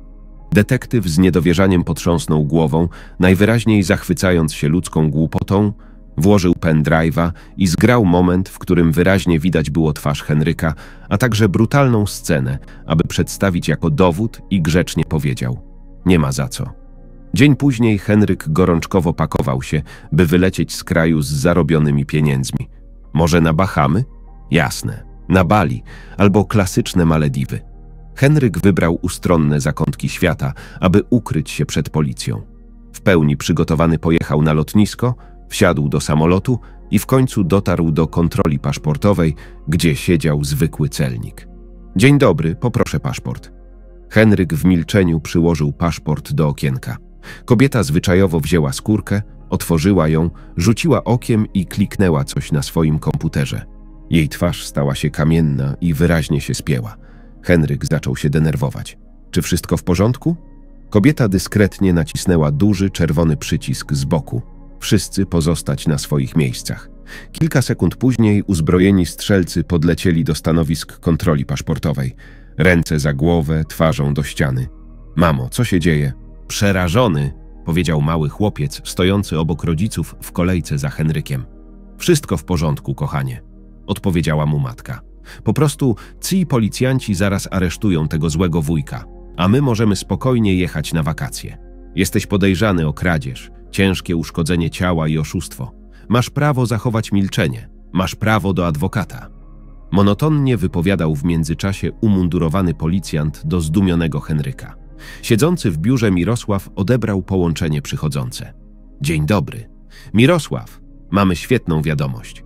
Odezwał się wesoło Seweryn. Witam. Wczoraj Henryk został zatrzymany na lotnisku, gdy miał odlecieć na Malediwy. Był przesłuchiwany i groził mu ogromny wyrok. Udało im się nakłonić go do zwierzeń i przyznał się. Wydał ich wszystkich. Możesz w to uwierzyć? Kto go zwerbował, gdzie trafiły pieniądze? A teraz mamy wszystkie dowody, których potrzebujemy, aby ich pozwać. A co z Henrykiem? Najprawdopodobniej odsiedzi wyrok, ale nie wiem jak długo. Tego właśnie nie wiem. Do diabła z nim. Mirosław oddalił. To napisz na nich raport, zanim przepuszczą całą naszą kasę. Już się tym zajmuję. Zgłosił wspólnik. Kilka miesięcy trwało niekończące się postępowanie sądowe, podczas którego przedstawiciele firmy, która próbowała w ten sposób wchłonąć sprawę Mirosława oraz prawnicy broniący jej interesów nie mieli praktycznie żadnych szans. Wszystkie dowody i zeznania wskazywały na zawinione działania pracodawców Henryka. To było widać, co się nazywa gołym okiem. Oczywiście Mirosław ostatecznie wygrał proces i odzyskał wszystkie swoje pieniądze wraz z odsetkami za straty moralne. Mógł w końcu odzyskać pieniądze i mniej więcej odbudować swoją reputację przed partnerami biznesowymi i pracownikami. Wypłacić odszkodowania pracownikom, ponownie zainwestować w dobrą reklamę i spróbować ponownie nawiązać kontakt z kontrahentami z zagranicy w celu budowania spółek biznesowych w krajach europejskich. Świetnie, wracamy na właściwe tory. Cieszył się Seweryn. Jeszcze nie do końca. Potrząsnął głową Mirosław. Nasz budżet został odbudowany, ale straty są ogromne, a wydaliśmy krocie na odbudowę biznesu. Poczekajmy trochę. Będziemy mogli ocenić wynik za około rok. Mirosław zawsze był ostrożny w przewidywaniach, ale teraz dostrzegł w Sewerynie potencjał prawdziwego menedżera, któremu można powierzyć swoją firmę. Kiedyś był konsultantem i sekretarką, ale minęło wiele lat i młody student już dawno stał się młodszym wspólnikiem w firmie Mirosława. W tym wszystkim Mirosław nie miał wolnego czasu, by spotykać się z Heleną. Nie miał też ku temu zbyt wielu okazji. Jej obłąkana matka groziła mu, że nawet nie pomyśli o ponownym spotkaniu z córką. Mirosław doskonale zdawał sobie sprawę, że w obecnej sytuacji było to DLA niego najlepsze rozwiązanie. W końcu zatrudnił stróża, a Krystyna pozwoliła mu znaleźć asystenta do pilnowania ogromnego domu. Bardzo tęsknił za Heleną, ale nie mógł jej odwiedzać ani nawet przypominać o sobie, bo słusznie obawiał się gruźb jej mamy. Każdego dnia obwiniał się, że gdyby zatrudnił strażnika wcześniej, mała dziewczynka nie musiałaby w pojedynkę bronić domu przed włamywaczem. Taka dzielna dziewczynka nie bała się nawet uzbrojonego przestępcy. Ale co za potworna niesprawiedliwość, że nie broniła nawet własnego domu, ale kogoś innego. Osoby, która nie jest nawet jej krewnym, nie jest jej przyjacielem, nie jest nawet nikim. Wtedy Mirosław zatrzymał się, dokładnie zastanawiając się nad tym, co mówi. Nie, nie jestem dla niej kimś obcym. Dlaczego czasem nazywała mnie tatą? Może? Nie, absurd. Nie mogę zabrać córki od matki, choćby ją codziennie biła. To jej dom. Kilka dni później pod dom Mirosława znów podjechał radiowóz. Zobaczę, co tam jest. Powiedział Bernard, ochroniarz Mirosława i wyszedł na podwórko. A już na progu rezydencji stoi uzbrojony oddział policji – a wraz z nimi ta sama szalona pijaczka, która nazywała siebie matką Heleny. Czy to on? Policjant zapytał ją surowo. Tak, tak, to on zgwałcił moją córkę, odpowiedziała szybko. Mirosław był zdumiony, słysząc te słowa. Co? Ja? Jak śmiesz tak mówić? Ona tylko sprzątała mój dom. Widzisz, ta kobieta ma wiele dowodów nie na twoją korzyść, ostrożnie powiedział najstarszy z przybyłych. Proszę, Mirosław machnął przygnębiony ręką, jakby zapraszając intruzów do środka, choć wcale takiego zaproszenia nie potrzebowali. Nieproszeni goście weszli do domu, a starszy kontynuował. Ta kobieta twierdzi, że siłą przetrzymywałeś w domu nieletnie dziecko, biłeś je i gwałciłeś. Jak pan to ustalił? Gospodarz zapytał sarkastycznie. Kilka tygodni temu moja córeczka wróciła do domu z zakrwawioną głową. Matka Heleny krzyczała. Powiedziała mi, że sprzątała dom drania. Próbowałem się dowiedzieć, kto ją tak pobił, ale ona uparcie milczy, więc sam się temu przyjrzałem. Przyszedłem tutaj, ale on mnie wyrzucił i groził mi przemocą. A kiedy wróciłem do domu, okazało się, że moja córka zaginęła. Zaginioną? Mirosław z emocji ścisnął się za serce. Nie zgrywaj niewiniątka. Matka była wściekła. Nie mogła sama wyjść z domu. Ukradłeś ją. Jestem pewna, że to byłaś ty, moja córko, moje dziecko Boże. Zaczęła imitować łzy i wycierać je brudną chusteczką. I ty jej wierzysz?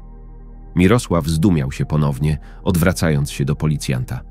Nie mogę tego zignorować, wyjaśnił zmęczonym głosem. Ta kobieta złożyła oficjalne doniesienie o zaginięciu i zgwałceniu jej nieletniej córki. Jesteśmy zobowiązani do zbadania tego faktu. Jeśli nie znajdziemy dowodów na niewinność, to rozumiem. Poważnie powiedział Mirosław: Dziękuję za ostrzeżenie. I tak, jeszcze jedno. Grzecznie, najgrzeczniej jak potrafił, poinformował policjanta. Ponieważ dziewczynka rzeczywiście zaginęła, będziemy zmuszeni skontrolować pański dom. Dobrze, niech pan patrzy, przytaknął Mirosław. Ma pan rację. Policja przeszukała całą posiadłość w poszukiwaniu dziewczyny. Sprawdzali każdy kąt i stukali w każdą ścianę. Ale Heleny oczywiście nigdy nie znaleziono. Tak jak myśleliśmy, nie ma jej tutaj, powiedział policjant na pożegnanie ale została wszczęta sprawa karna i muszę wystawić panu oficjalne wezwanie. Jutro musi się pan stawić na przesłuchanie, choć osobiście uważam, że nie ma pan z tym nic wspólnego. Rozumiem, to pańska praca. Właściciel zgodził się, przygnębiony tym, co się stało. W takim razie widzimy się jutro i żadnych sztuczek. Oficer ostrzegł na wszelki wypadek. Nie chciałbym wyprowadzać cię stąd w kajdankach. Do zobaczenia jutro. Będę dokładnie o wyznaczonej godzinie. Mirosław powiedział stanowczo. Policjanci wyszli przez drzwi, a za nimi matka Neleny. Jednak w progu zatrzymała się i spojrzała na Mirosława gniewnym wzrokiem. Świr, obyś zgnił tu samotnie w swoim wymyślnym domku. Mirosław nie eskalował konfliktu, tylko uśmiechnął się do niej uprzejmie i powiedział: Życzę ci tego samego. Do widzenia.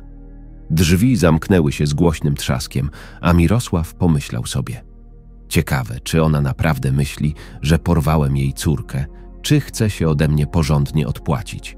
Mirosław nie obawiał się śledztwa, bo wiedział, że jest niewinny, ale zadzwonił do Seweryna. Cześć, Seweryn. Tak, Mirosław. Cześć. Dzisiaj znowu przyszła do mnie ta wariatka i to z policją. Oskarżyli mnie o gwałt na nieletnim dziecku, wiesz. Powiedziała, że Helena wróciła do domu z zakrwawioną głową i nie powiedziała, kto to zrobił. Jest pewna, że to byłem ja. W każdym razie potrzebuję tego pendrive'a z całym nagraniem z kamery. Z tym jak Henryk uderzył Helenę i z dniem, w którym ta wariatka włamała się do mojego domu. Dobrze, zrobię to. Seweryn jak zawsze relacjonował jasno i zwięźle. Jutro zapowiadał się pracowity dzień. Zaczęło się od tego, że wcześnie rano do Wydziału Dochodzeniowo-Śledczego przyjechał Mirosław w towarzystwie swojego adwokata. Seweryn wybrał mu prawdziwego profesjonalistę, a zarazem starego znajomego. Adam, bo tak miał na imię obrońca, i Mirosław usiedli przy jednym końcu dużego stołu. Śledczy spokojnie przerzucał papiery po przeciwnej stronie. Zacznijmy więc od formalności. Zaczął. Nazwisko, imię, patronimik, miejsce zamieszkania itd. Tak Wszystko do protokołu. Mirosław spokojnie się wylegitymował i złożył niezbędne dokumenty. Ciążą na panu poważne zarzuty, ale nie ma praktycznie żadnych dowodów na pana udział poza zeznaniami matki ofiary. Nie ma też możliwości przeprowadzenia badań lekarskich, bo dziecko zaginęło. Z namysłem podsumował śledczy po półgodzinnej rozmowie z podejrzanym i jego adwokatem. W takich okolicznościach nie mogę zabrać pana do aresztu i szczerze mówiąc nie chcę. Wyłączył dyktafon i poważnie zapytał Mirosława. Jak myślisz, co się tak naprawdę stało? Poznałem tę dziewczynę kilka miesięcy temu, kiedy próbowała zarobić pieniądze, śpiewając własne piosenki pod supermarketem. Mirosław rozpoczął swoją opowieść. Wtedy ochroniłem ją przed chuliganami, a chwilę później postanowiłem dać jej jakąś pracę w moim domu, żeby dziecko nie cierpiało zmuszane przez pijaną matkę do przynoszenia pieniędzy. Sama nosi swoich dwóch młodszych braci, podczas gdy matka pije, a ojciec odsiaduje wyrok. Zdajesz sobie z tego sprawę? Tak, oczywiście. Śledczy skinął głową. Sprawdziliśmy status społeczny rodziny. Jest tak, jak pan powiedział, i sąsiedzi w pełni to potwierdzają, i wychowawcy w przedszkolu, i nauczyciele w szkole. Dlatego nie stawiamy jeszcze formalnych zarzutów, ale wszystko może się zmienić. Jesteś pewien, że nie znasz miejsca pobytu nieletniego? Niestety nie. Mirosław potrząsnął głową. To dobrze, przytaknął śledczy. Nasi funkcjonariusze szukają teraz dziecka i miejmy nadzieję, że je znajdą. Gdy ją znajdziemy, ta sprawa może przybrać zupełnie inny obrót. Dlatego jestem zmuszony wydać wyrok przeciwko panu. Podał imię i mecenasa Mirosława, ponownie włączając dyktafon. Środki bezpieczeństwa w postaci zobowiązania do nieopuszczania kraju. Nie ma pan prawa opuszczać swojej dzielnicy. Nie mogę więc opuszczać miasta. Mirosław sprecyzował, ale mam napięty grafik służbowy. W pana sytuacji należy podziękować organom ścigania za taką decyzję. Adwokat pojednawczo stwierdził. Wszystko rozumiemy i jesteśmy gotowi współpracować w śledztwie, powiedział do śledczego. A Mirosław został zmuszony do podpisania wszystkich niezbędnych dokumentów. Adamie, czy to prawda, że Helena, córka tego szalonego alkoholika, pracowała w moim domu jako gosposia i sprzątaczka, a raczej podlewała kwiatki i obgryzała krzaki nożyczkami? Mirosław uśmiechnął się, gdy wraz z prawnikiem opuszczał Wydział Śledczy. Ale nigdy nawet nie podniosłem na nią ręki, uwierz mi, a tym bardziej niczego innego. Nawet nie lubię myśleć o takich rzeczach. Te dziesięć tysięcy rubli, o których mówiła mama, to była jej pensja. Nic więcej. Krystyna i ja też karmiłyśmy dziewczynkę. Dawałyśmy jej zakupy DLA braci, podczas gdy jej matka alkoholiczka leżała na kanapie, brała kochanków w domu, nie krępując się obecnością dzieci i upijała się do nieprzytomności. A wieczorem, gdy Helena wracała do domu, wściekała się i biła ją za każdym razem. Ta rozżalona matka w ogóle nie zajmuje się młodszymi dziećmi. Helena robi to sama. Dziewczyna opowiedziała mi to wszystko osobiście. Wierzę ci. Prawnik powiedział poważnie. Ale dlaczego wybrał pan ją na gosposie, a nie dorosłą kobietę z doświadczeniem? Mam gosposie, dorosłą kobietę z doświadczeniem zawodowym. Mirosław odpowiedział zmęczony. Praca Heleny była tylko grą, przykrywką DLA niej samej, żeby nie wstydziła się brać ode mnie pieniędzy. Naprawdę myślisz, że wykorzystywałem do pracy dzieci? Czyściła klatki DLA ptaków, podlewała kwiaty w mojej szklarni i zabawiała się artystycznym przycinaniem krzewów na podwórku, po którym wyglądały raczej jak zaniedbane kikuty. Mirosław roześmiał się serdecznie. Zanim się poznaliśmy, ta dziewczyna siedziała na mokrym kartonie przed sklepem i grała piosenki na gitarze, próbując zarobić trochę pieniędzy. Szczerze jej współczułem i umówiłem się z nią, że będzie do mnie przychodzić po szkole i sprzątać za pięć tysięcy rubli dziennie. Powierzyłem jej klucze i cały dom, bo wiedziałem, że Helena to miła i poprawna dziewczyna. Kto może to potwierdzić? Krystyna, moja kierowniczka domu i oczywiście sama Helena, ale mam dowód, że to nie ja ją uderzyłam. Uderzył ją w głowę przestępca, który chciał okraść mnie i moją firmę. Został już zatrzymany. Dziewczyna dzielnie i lekkomyślnie broniła mojego domu, próbując powstrzymać złodzieja. On z kolei wściekł się i uderzył ją w głowę a ona straciła przytomność i leżała sama w mokrej trawie do wieczora z urazem głowy. Byłem wtedy w Monachium i leciałem w interesach, więc Helena wróciła do domu późno tego dnia, pokryta krwią. Twoja historia wydaje mi się prawdziwa i pasuje do wszystkiego, o czym dowiedziałem się moimi kanałami. I ten sprawca, którego Henryk widział w wiadomościach, ale potrzebuje więcej dowodów, aby potwierdzić Twoją niewinność w odniesieniu do hipotetycznego gwałtu. Mirosław uśmiechnął się, spojrzał na Adama i powiedział: Mam nadzieję, że Helena szybko się odnajdzie i sama wszystko opowie. Rozumiem, dlaczego zdecydowała się uciec od swojej szalonej matki, ale bardzo się o nią martwię. Chyba też wynajmę ludzi, żeby jej szukali. Szkoda, że dowiedziałem się o tym tak późno. Adam pokiwał głową ze zrozumieniem. Tak, musimy zorganizować wzmożone poszukiwania dziecka. Może być świadkiem za zgodą władz opiekuńczych i łatwo może stać się ofiarą, ale nie z twoich rąk, Mirosławie. Wszyscy sąsiedzi potwierdzają, że do domu jej matki przychodzą od czasu do czasu różni mężczyźni o tym samym stopniu, powiedzmy, odpowiedzialności społecznej. Jeden z nich mógł z łatwością znęcać się nad jej małoletnią córką – jeśli wszystkie te fakty zostaną udowodnione w toku śledztwa i potwierdzą się zeznania o fatalnych warunkach panujących w domu skarżącej, pogrążona w żałobie matka będzie musiała stanąć przed sądem, a o losie Heleny i jej młodszych braci zadecydują władze opiekuńcze. Mirosław zastanowił się chwilę nad tym tematem i zapytał Adama: Czy myślisz, że mógłbym sprawować nad nią opiekę? Czy nadaje się na opiekuna trzynastoletniej dziewczynki? Chcesz być jej opiekunem? Adam był zaskoczony, a w jego spojrzeniu Mirosław po raz kolejny wyczytał skrywaną nieufność. Tak oni wszyscy myślą, że jestem jakimś zboczeńcem.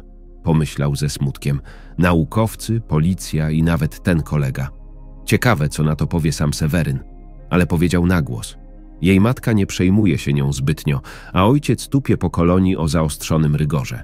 Z tego co wiem, zabił kogoś w pijackiej bójce. Dziewczyna z pewnością nie jest moją córką, ale moja własna córka, gdybym ją miał, byłaby teraz w tym samym wieku. Kinga, moja zmarła żona, zmarła nagle i bardzo młodo. Właśnie mieliśmy mieć dziecko. Po jej śmierci czułem się, jakbym sam umarł. I dopiero niedawno, kiedy spotkałem Helenę przypadkiem przed sklepem, poczułem, że coś się we mnie odmraża, wiesz? Nie wiedział, dlaczego nagle stał się tak szczery wobec tej, w gruncie rzeczy, zupełnie obcej osoby. Ale może to było dla niego ważne, aby wyjaśnić ludziom, że nie jest zboczeńcem, że Helena stała się mu bliska tylko jako córka, prawie jako córka. Oczywiście nigdy nie pytał jej o takie rzeczy. Tak. Adwokat przeciągnął się, również nieco zażenowany taką szczerością swojego klienta i natychmiast zmienił temat. Jak ziemia znosi takich ludzi jak jej matka. Widać, że nie zależy jej na dzieciach. Nie może być normalną kobietą, która lubi bić własne dzieci i pić alkohol, dopóki nie zemdleje. Skinęli do siebie głowami, uścisnęli sobie dłonie i rozstali się. Mirosław wsiadł do samochodu. Z pewnością wcześniej czuł nieufność i złość do matki Heleny, ale teraz czuł tylko obrzydzenie. Mirosław nigdy nie spotkał tak zepsutych ludzi, którzy kłamali jej w żywe oczy. Próbowali zrzucić winę na niewinną osobę i otwarcie chwalili się wszystkim, że lubią bić dzieci. Rozmyślając o tym wszystkim, dotarł do biura, gdzie spotkał go wierny Seweryn. Przy wspólnej kawie delikatnie zapytał Mirosława. No i jak idzie śledztwo? I jak? Nic dobrego. Mirosław westchnął. Zmusili mnie do podpisania zakazu opuszczania kraju. Teraz wszystkie wyjazdy zagraniczne są na ciebie, Seweryn. Przynajmniej jeszcze nie wsadzili mnie do więzienia. Uśmiechnął się zawadiacko. Tak, interesy. Seweryn powiedział zamyślony i pocieszająco poklepał partnera po ramieniu. Trzymaj się, Mirosław. Jestem z tobą. Dziękuję. Mężczyzna uśmiechnął się z wdzięcznością. Coś jednak zrozumiałem z wypowiedzi śledczych i zeznań matki Heleny. Pozwolili mi je zobaczyć. Co to było? Zastanawiał się Seweryn. Helenę trzeba ratować. Mirosław powiedział stanowczo. Jak? Po pierwsze, zamierzam pomóc policji w jej poszukiwaniach. Ludzie, samochody, helikoptery, nawet siły specjalne. Musimy zaangażować wszystkich. A potem? A potem pójdę do władz zajmujących się opieką nad dziećmi, jeśli nikt z jej otoczenia nie zrobił tego wcześniej. Kiedy zobaczą atmosferę w domu tej szalonej matki, odbiorą jej prawa do dzieci. I gdzie one potem trafią? Do sierocińca? Nie wiem, zobaczymy. Mirosław unikał bezpośredniej odpowiedzi. Nie chciał widzieć na twarzy Seweryna tego samego wyrazu, co u wszystkich. Gdzie teraz jesteś, Heleno? Czy jeszcze cię zobaczę? Pomyślał z niepokojem, spoglądając tęsknie przez okno swojego luksusowego gabinetu. Kilka tygodni temu, przed tymi wszystkimi wydarzeniami, Helena leżała na zimnej podłodze w łazience, ledwo żywa po ranie i pobiciu przez matkę. Pojechała do rezydencji Mirosława, wyciągnąwszy wcześniej adres córki i zostawiła biedną dziewczynę, by wiła się z bólu i sama sobie pomagała. Na szczęście wszystkie rany były powierzchowne i nie spowodowały poważnego uszczerbku na zdrowiu. Chwilę później, gdy Helena była w stanie trochę dojść do siebie, a nawet wstać, pomyślała tak. Coś trzeba zrobić. Nie wytrzymam ani minuty dłużej w tym domu. Nie mogę zabrać moich braci. Ich też nie mogę. Muszę uciekać. Wolę mieszkać w sierocińcu, niż zostać zatłuczona na śmierć przez własną matkę. Sama znajdę pracę. Może później ich zabiorę. Helena spakowała do plecaka kilka rzeczy: dwa jabłka, butelkę wody, trochę ubrań i 200 dolarów, które trzymała w sekretnym miejscu w biurku. Pieniądze te dostała kiedyś od Mirosława. Wyszła z mieszkania i skierowała się tam, gdzie poniosły ją oczy. Wędrując nocnymi ulicami, zastanawiała się, co robić dalej, bo nie miała jasnego planu. Szła chodnikiem, oświetlana przez słabe latarnie, które zdawały się wskazywać jej drogę. Na drodze nie było już prawie żadnych samochodów, ani ludzi na chodnikach. Nagle, gdzieś przed nią, na jej drodze pojawiła się sfora bezpańskich psów.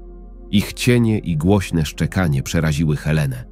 Serce jej zamarło i bez namysłu pognała w ciemny kąt między domami, mając nadzieję, że uda jej się uciec przed nieprzyjemnym spotkaniem.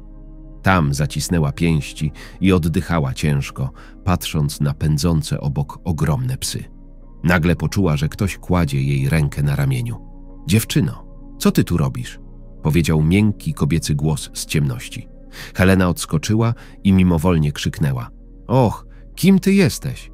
Kobieta zrobiła krok do przodu, wychodząc na światło dzienne i pokazując swoją twarz. Miała w rękach torbę z zakupami, proste ubranie i zwyczajny, jednorazowy wygląd. Uśmiechnęła się i powiedziała: Co dziewczyna w twoim wieku robi tutaj o tak późnej porze? Gdzie są twoi rodzice? Zaprowadzić cię do nich? Zgubiłaś się? Dosłownie zasypywała Helenę pytaniami. Helena nie chciała wracać do domu po nic innego, nie chciała też teraz opowiadać swojej historii. Odpowiedziała więc krótko: Nie mam rodziców. Jesteś sierotą i gdzie mieszkasz? Dziewczyna zmyślała na bieżąco. Za tobą jest śmietnik. Zwykle tam śpię, a śmieci mnie ogrzewają. Czasami podróżuję po mieście. Co ty jesz? Helena wyjęła z plecaka dwa jabłka i butelkę wody. Kobieta zacisnęła usta z niedowierzaniem. Nie sądzę, ale w każdym razie nie mogę cię tu zostawić na pastwę losu. Chodźmy do mojego domu. Co ty na to? Tam zdecydujemy, co robić. Helena zgodziła się od razu, bo nie miała innego wyjścia, jak tylko przebrnąć przez śmieci. Szli ulicą, miło ze sobą rozmawiając. Jak masz na imię? zapytała kobieta. Ja? Helena. Miło mi panią poznać. A ja? Edyta. Dziewczynie nie przyszło do głowy nic innego i żeby nie przedłużać niezręcznej pauzy, powiedziała. Może poczęstuję cię jabłkiem. Edyta zaśmiała się cicho. Nie, dziękuję. Pójdziemy do mojego domu. Tam umyjesz jabłko i zjesz je sama po obiedzie. W końcu dotarły do mieszkania Edyty, które, nawiasem mówiąc, znajdowało się niedaleko szkoły, w której uczyła się Helena. Edyta natychmiast położyła się na kanapie i poszła do kuchni przygotować kolację. Wkrótce wszystko było gotowe. Prosty, ale smaczny posiłek. Tym bardziej niezwykły, że w domu nikt niczego DLA Heleny nie gotował. Matka rzadko jadała, więcej piła wódki, gotowała DLA siebie i braci. Usiadły z Edytą przy małym stoliku i rozpoczęły posiłek. Helena pochłonęła pyszny, gorący obiad w oba policzki, a Edyta, oparta o stół, przyglądała się jej bardziej. Heleno, chciałam ci coś powiedzieć. Zaczęła w końcu, widząc, że dziewczyna w końcu zjadła i trochę się uspokoiła. Pracuję w ośrodku DLA dzieci, gdzie zajmują się takimi jak ty. Wydaje mi się, że jesteś w trudnej sytuacji. Mam rację?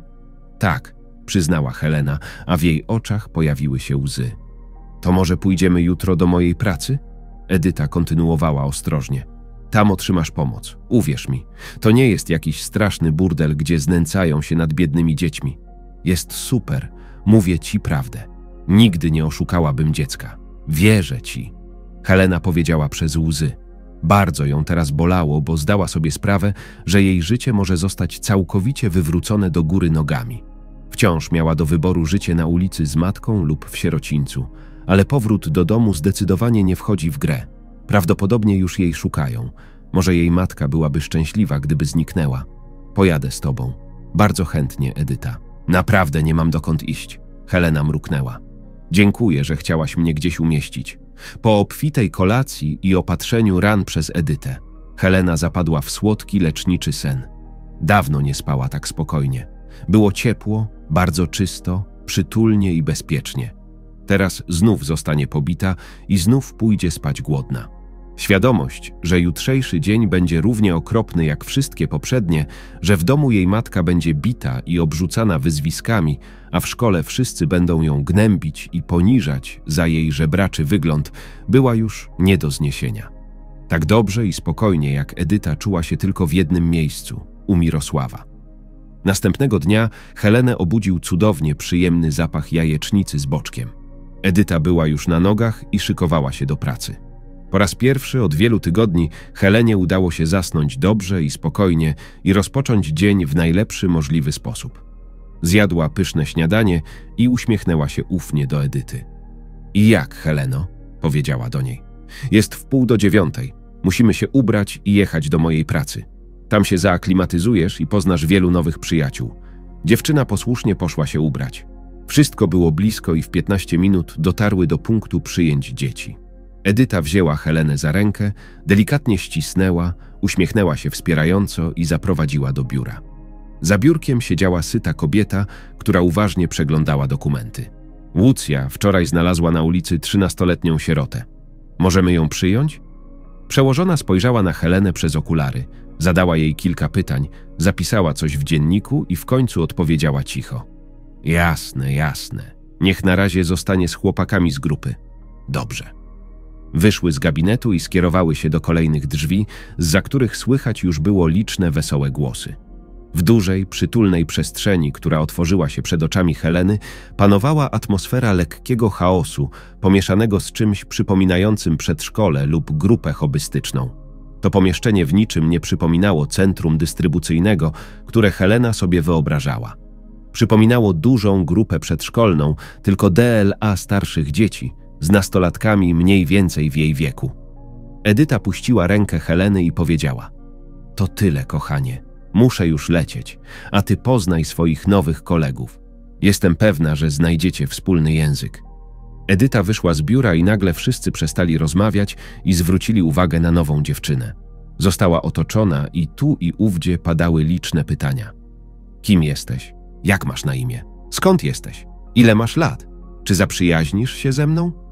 Pytań było wiele, ale Helena nie była w najmniejszym stopniu zmieszana i na każde odpowiadała pewnie i spokojnie.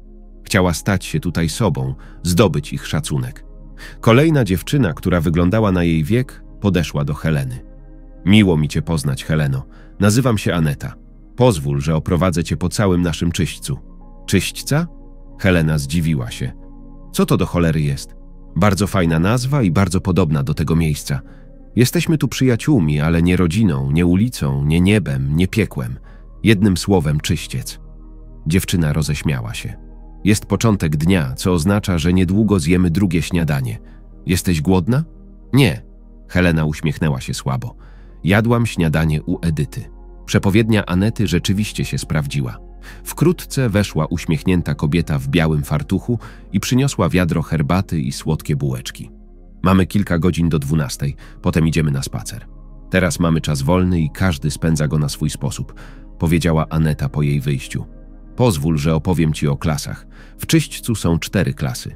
Dzieci mają od 12 do 14 lat. Są najmłodsi.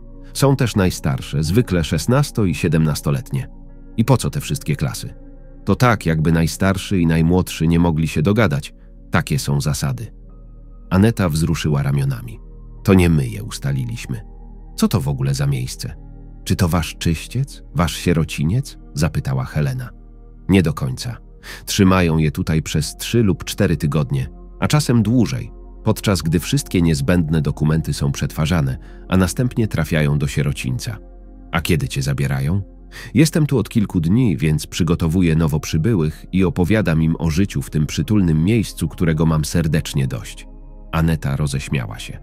Rozumiem. A co robią w wolnym czasie? Rozglądają się, obserwują, poznają kogoś. Nie muszę ci tego tłumaczyć. Aneta mrugnęła i zniknęła.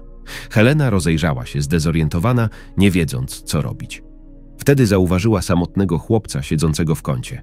Nie podchodź do niego. Głos dobiegł z nad jej ramienia. To kompletny psychol. Każdy tutaj jest na swój sposób szalony, ale ten facet jest. Jak tylko tu przyszedł, pokazał nam cały swój charakter. Szybko go uspokoiliśmy, ale nie możemy mu zbytnio przeszkadzać. Nawet starsi boją się tego szaleńca, dlatego nas nie dotykają. Co on zrobił? Wydaje się spokojny. Jest, dopóki się z nim nie porozmawia. Kiedy tu przyszedł, miał w kieszeni nóż i pokazał go nam. Groził nam, powiedział coś niesłyszalnego. Zrobił takie zamieszanie, że cały czyściec stanął na uszach. Przy okazji, on też wkrótce odchodzi. To straszne. Helena rozejrzała się jeszcze raz i zauważyła grupkę dziewczyn, które cicho szemrały i o czymś dyskutowały. A one? Kim one są? Oni czy one? Nazywamy je gawędziarskim trio, miejscowymi plotkarami. To one zawsze zaczynają plotki. Nikt ich nie lubi, nie tylko z powodu plotek, ale z powodu ich reputacji, więc trzymają się razem. A co to jest reputacja? Jednym słowem, dziwki. Tak po prostu relacjonuje Aneta. Sprzedawane za grosze zboczeńcom, ale to zrozumiałe. Westchnęła. Kto zarabia na chleb, prawda? A tak w ogóle, to czym się zajmowałeś?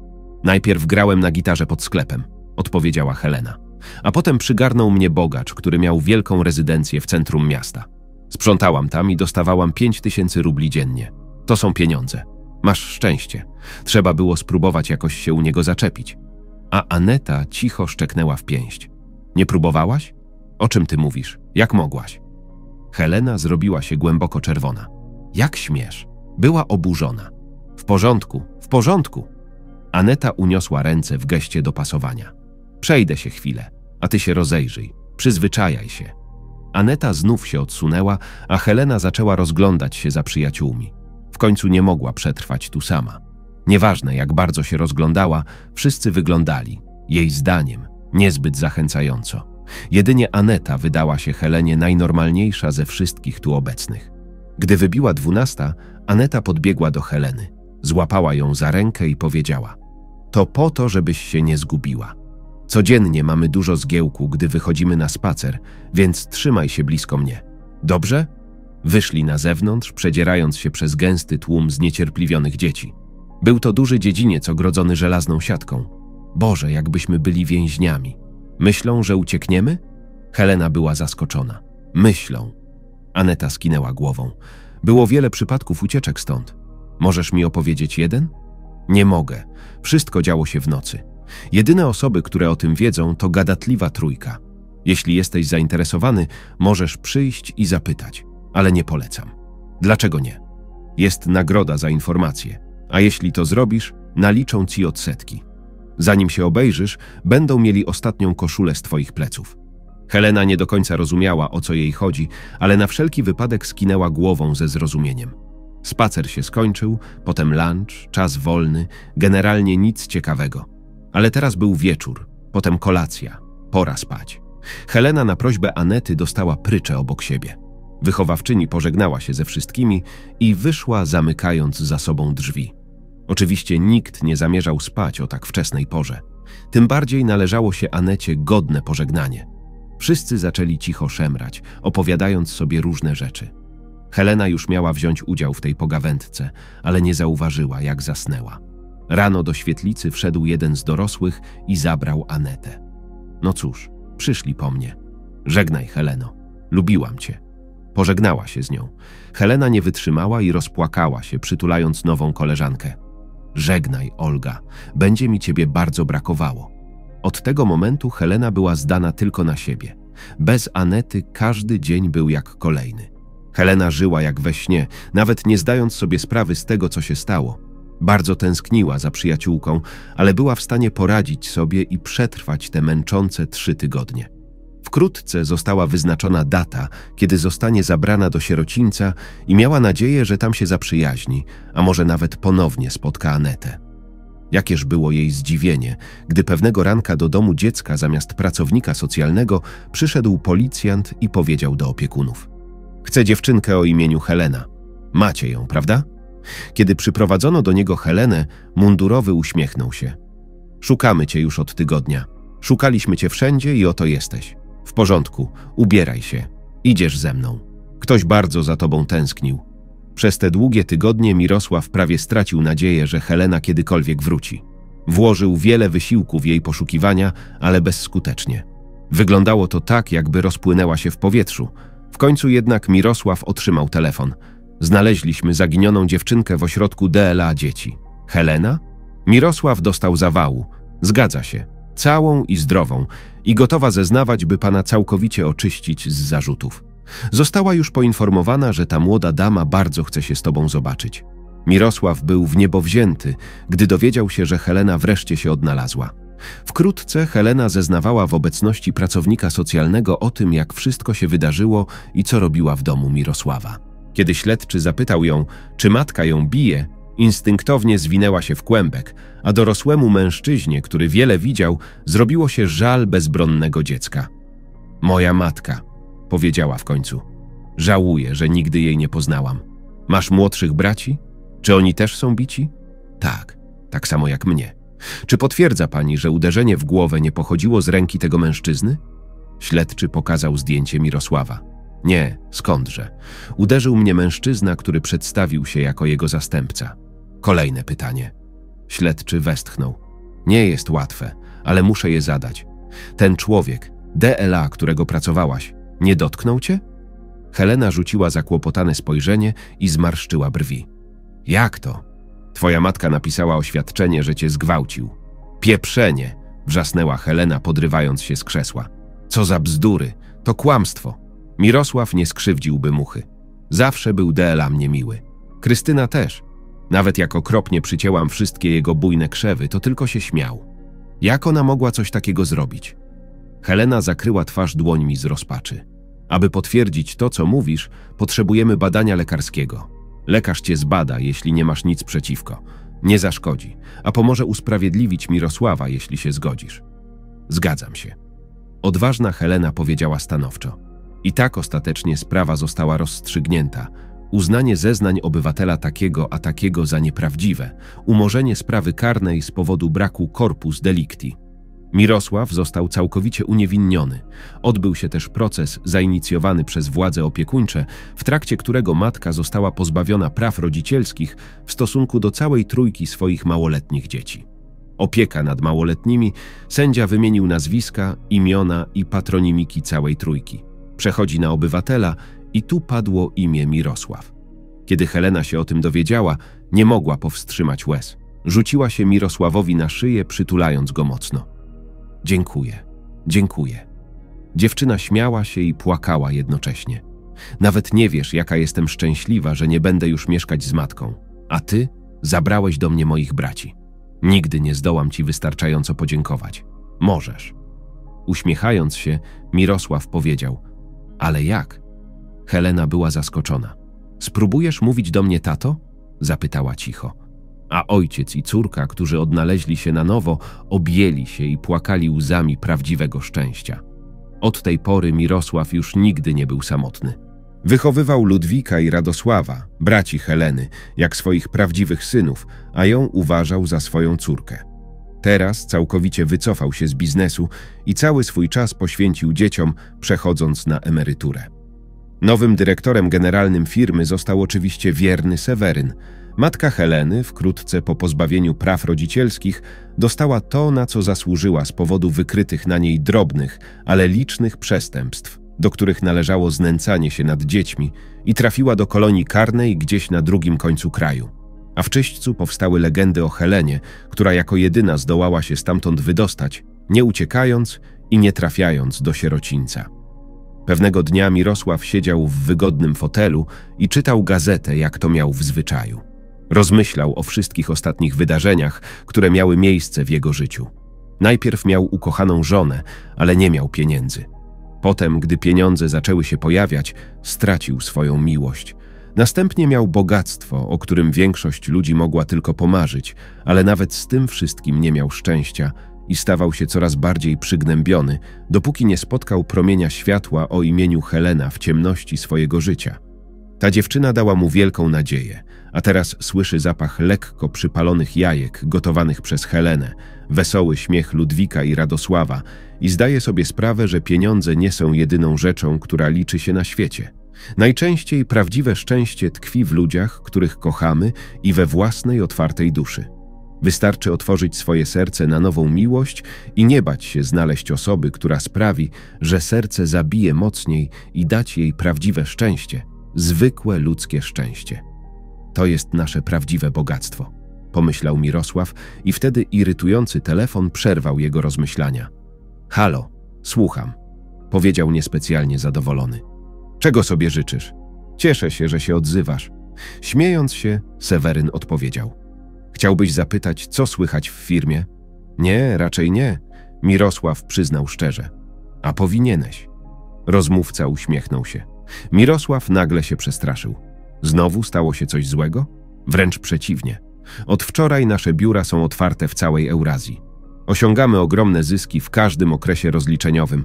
Znowu jesteśmy najlepsi, Mirosławie. Wiedziałem, że nie myliłem się co do ciebie, Seweryn. Mirosław powiedział powoli. Dziękuję. I dziękuję za zaufanie, ale chciałem wiedzieć jeszcze jedną rzecz. Jasne, proszę bardzo. Dlaczego wybrałeś mnie na swoje stanowisko? Zdaje się, że nie wiesz. Nie, właśnie dlatego pytam. Pamiętasz ten straszny czas, kiedy prawie zbankrutowaliśmy? Jak mógłbym nie pamiętać? To był ciężki czas, ale ty i ja daliśmy sobie radę. Nie miałem nawet pieniędzy, by wypłacić pensję tobie i innym pracownikom, więc wielu ludzi odeszło, a tylko ty i kilku najbardziej lojalnych zostało. W tym samym czasie przyjęłaś rolę konsultantki, asystentki, sekretarki i prawdziwej przyjaciółki. Na początku wątpiłem w ciebie i myślałem, że jesteś zbyt zielony do tej pracy. Ale kiedy zobaczyłem, że walczysz do końca nawet w najtrudniejszym momencie, wybrałem ciebie, Sewerynie, bez zastanowienia. W słuchawce rozległ się podejrzany szloch. Bardzo ci dziękuję, Mirosławie. Doceniam to naprawdę. Jesteś dobrym człowiekiem, Seweryn. Wierzę w ciebie i wiem, że z tobą moja firma nie przepadnie. A teraz, dzięki tobie, mogę spokojnie zająć się moimi dziećmi. Zapraszam. Mirosław odłożył słuchawkę i zamyślił się ponownie. Śniadanie gotowe, tato. Pojawiła się uśmiechnięta Helena, obsypana mąką i czymś lepkim. Już idę, kochanie. Mirosław uśmiechnął się do niej radośnie. Już idę.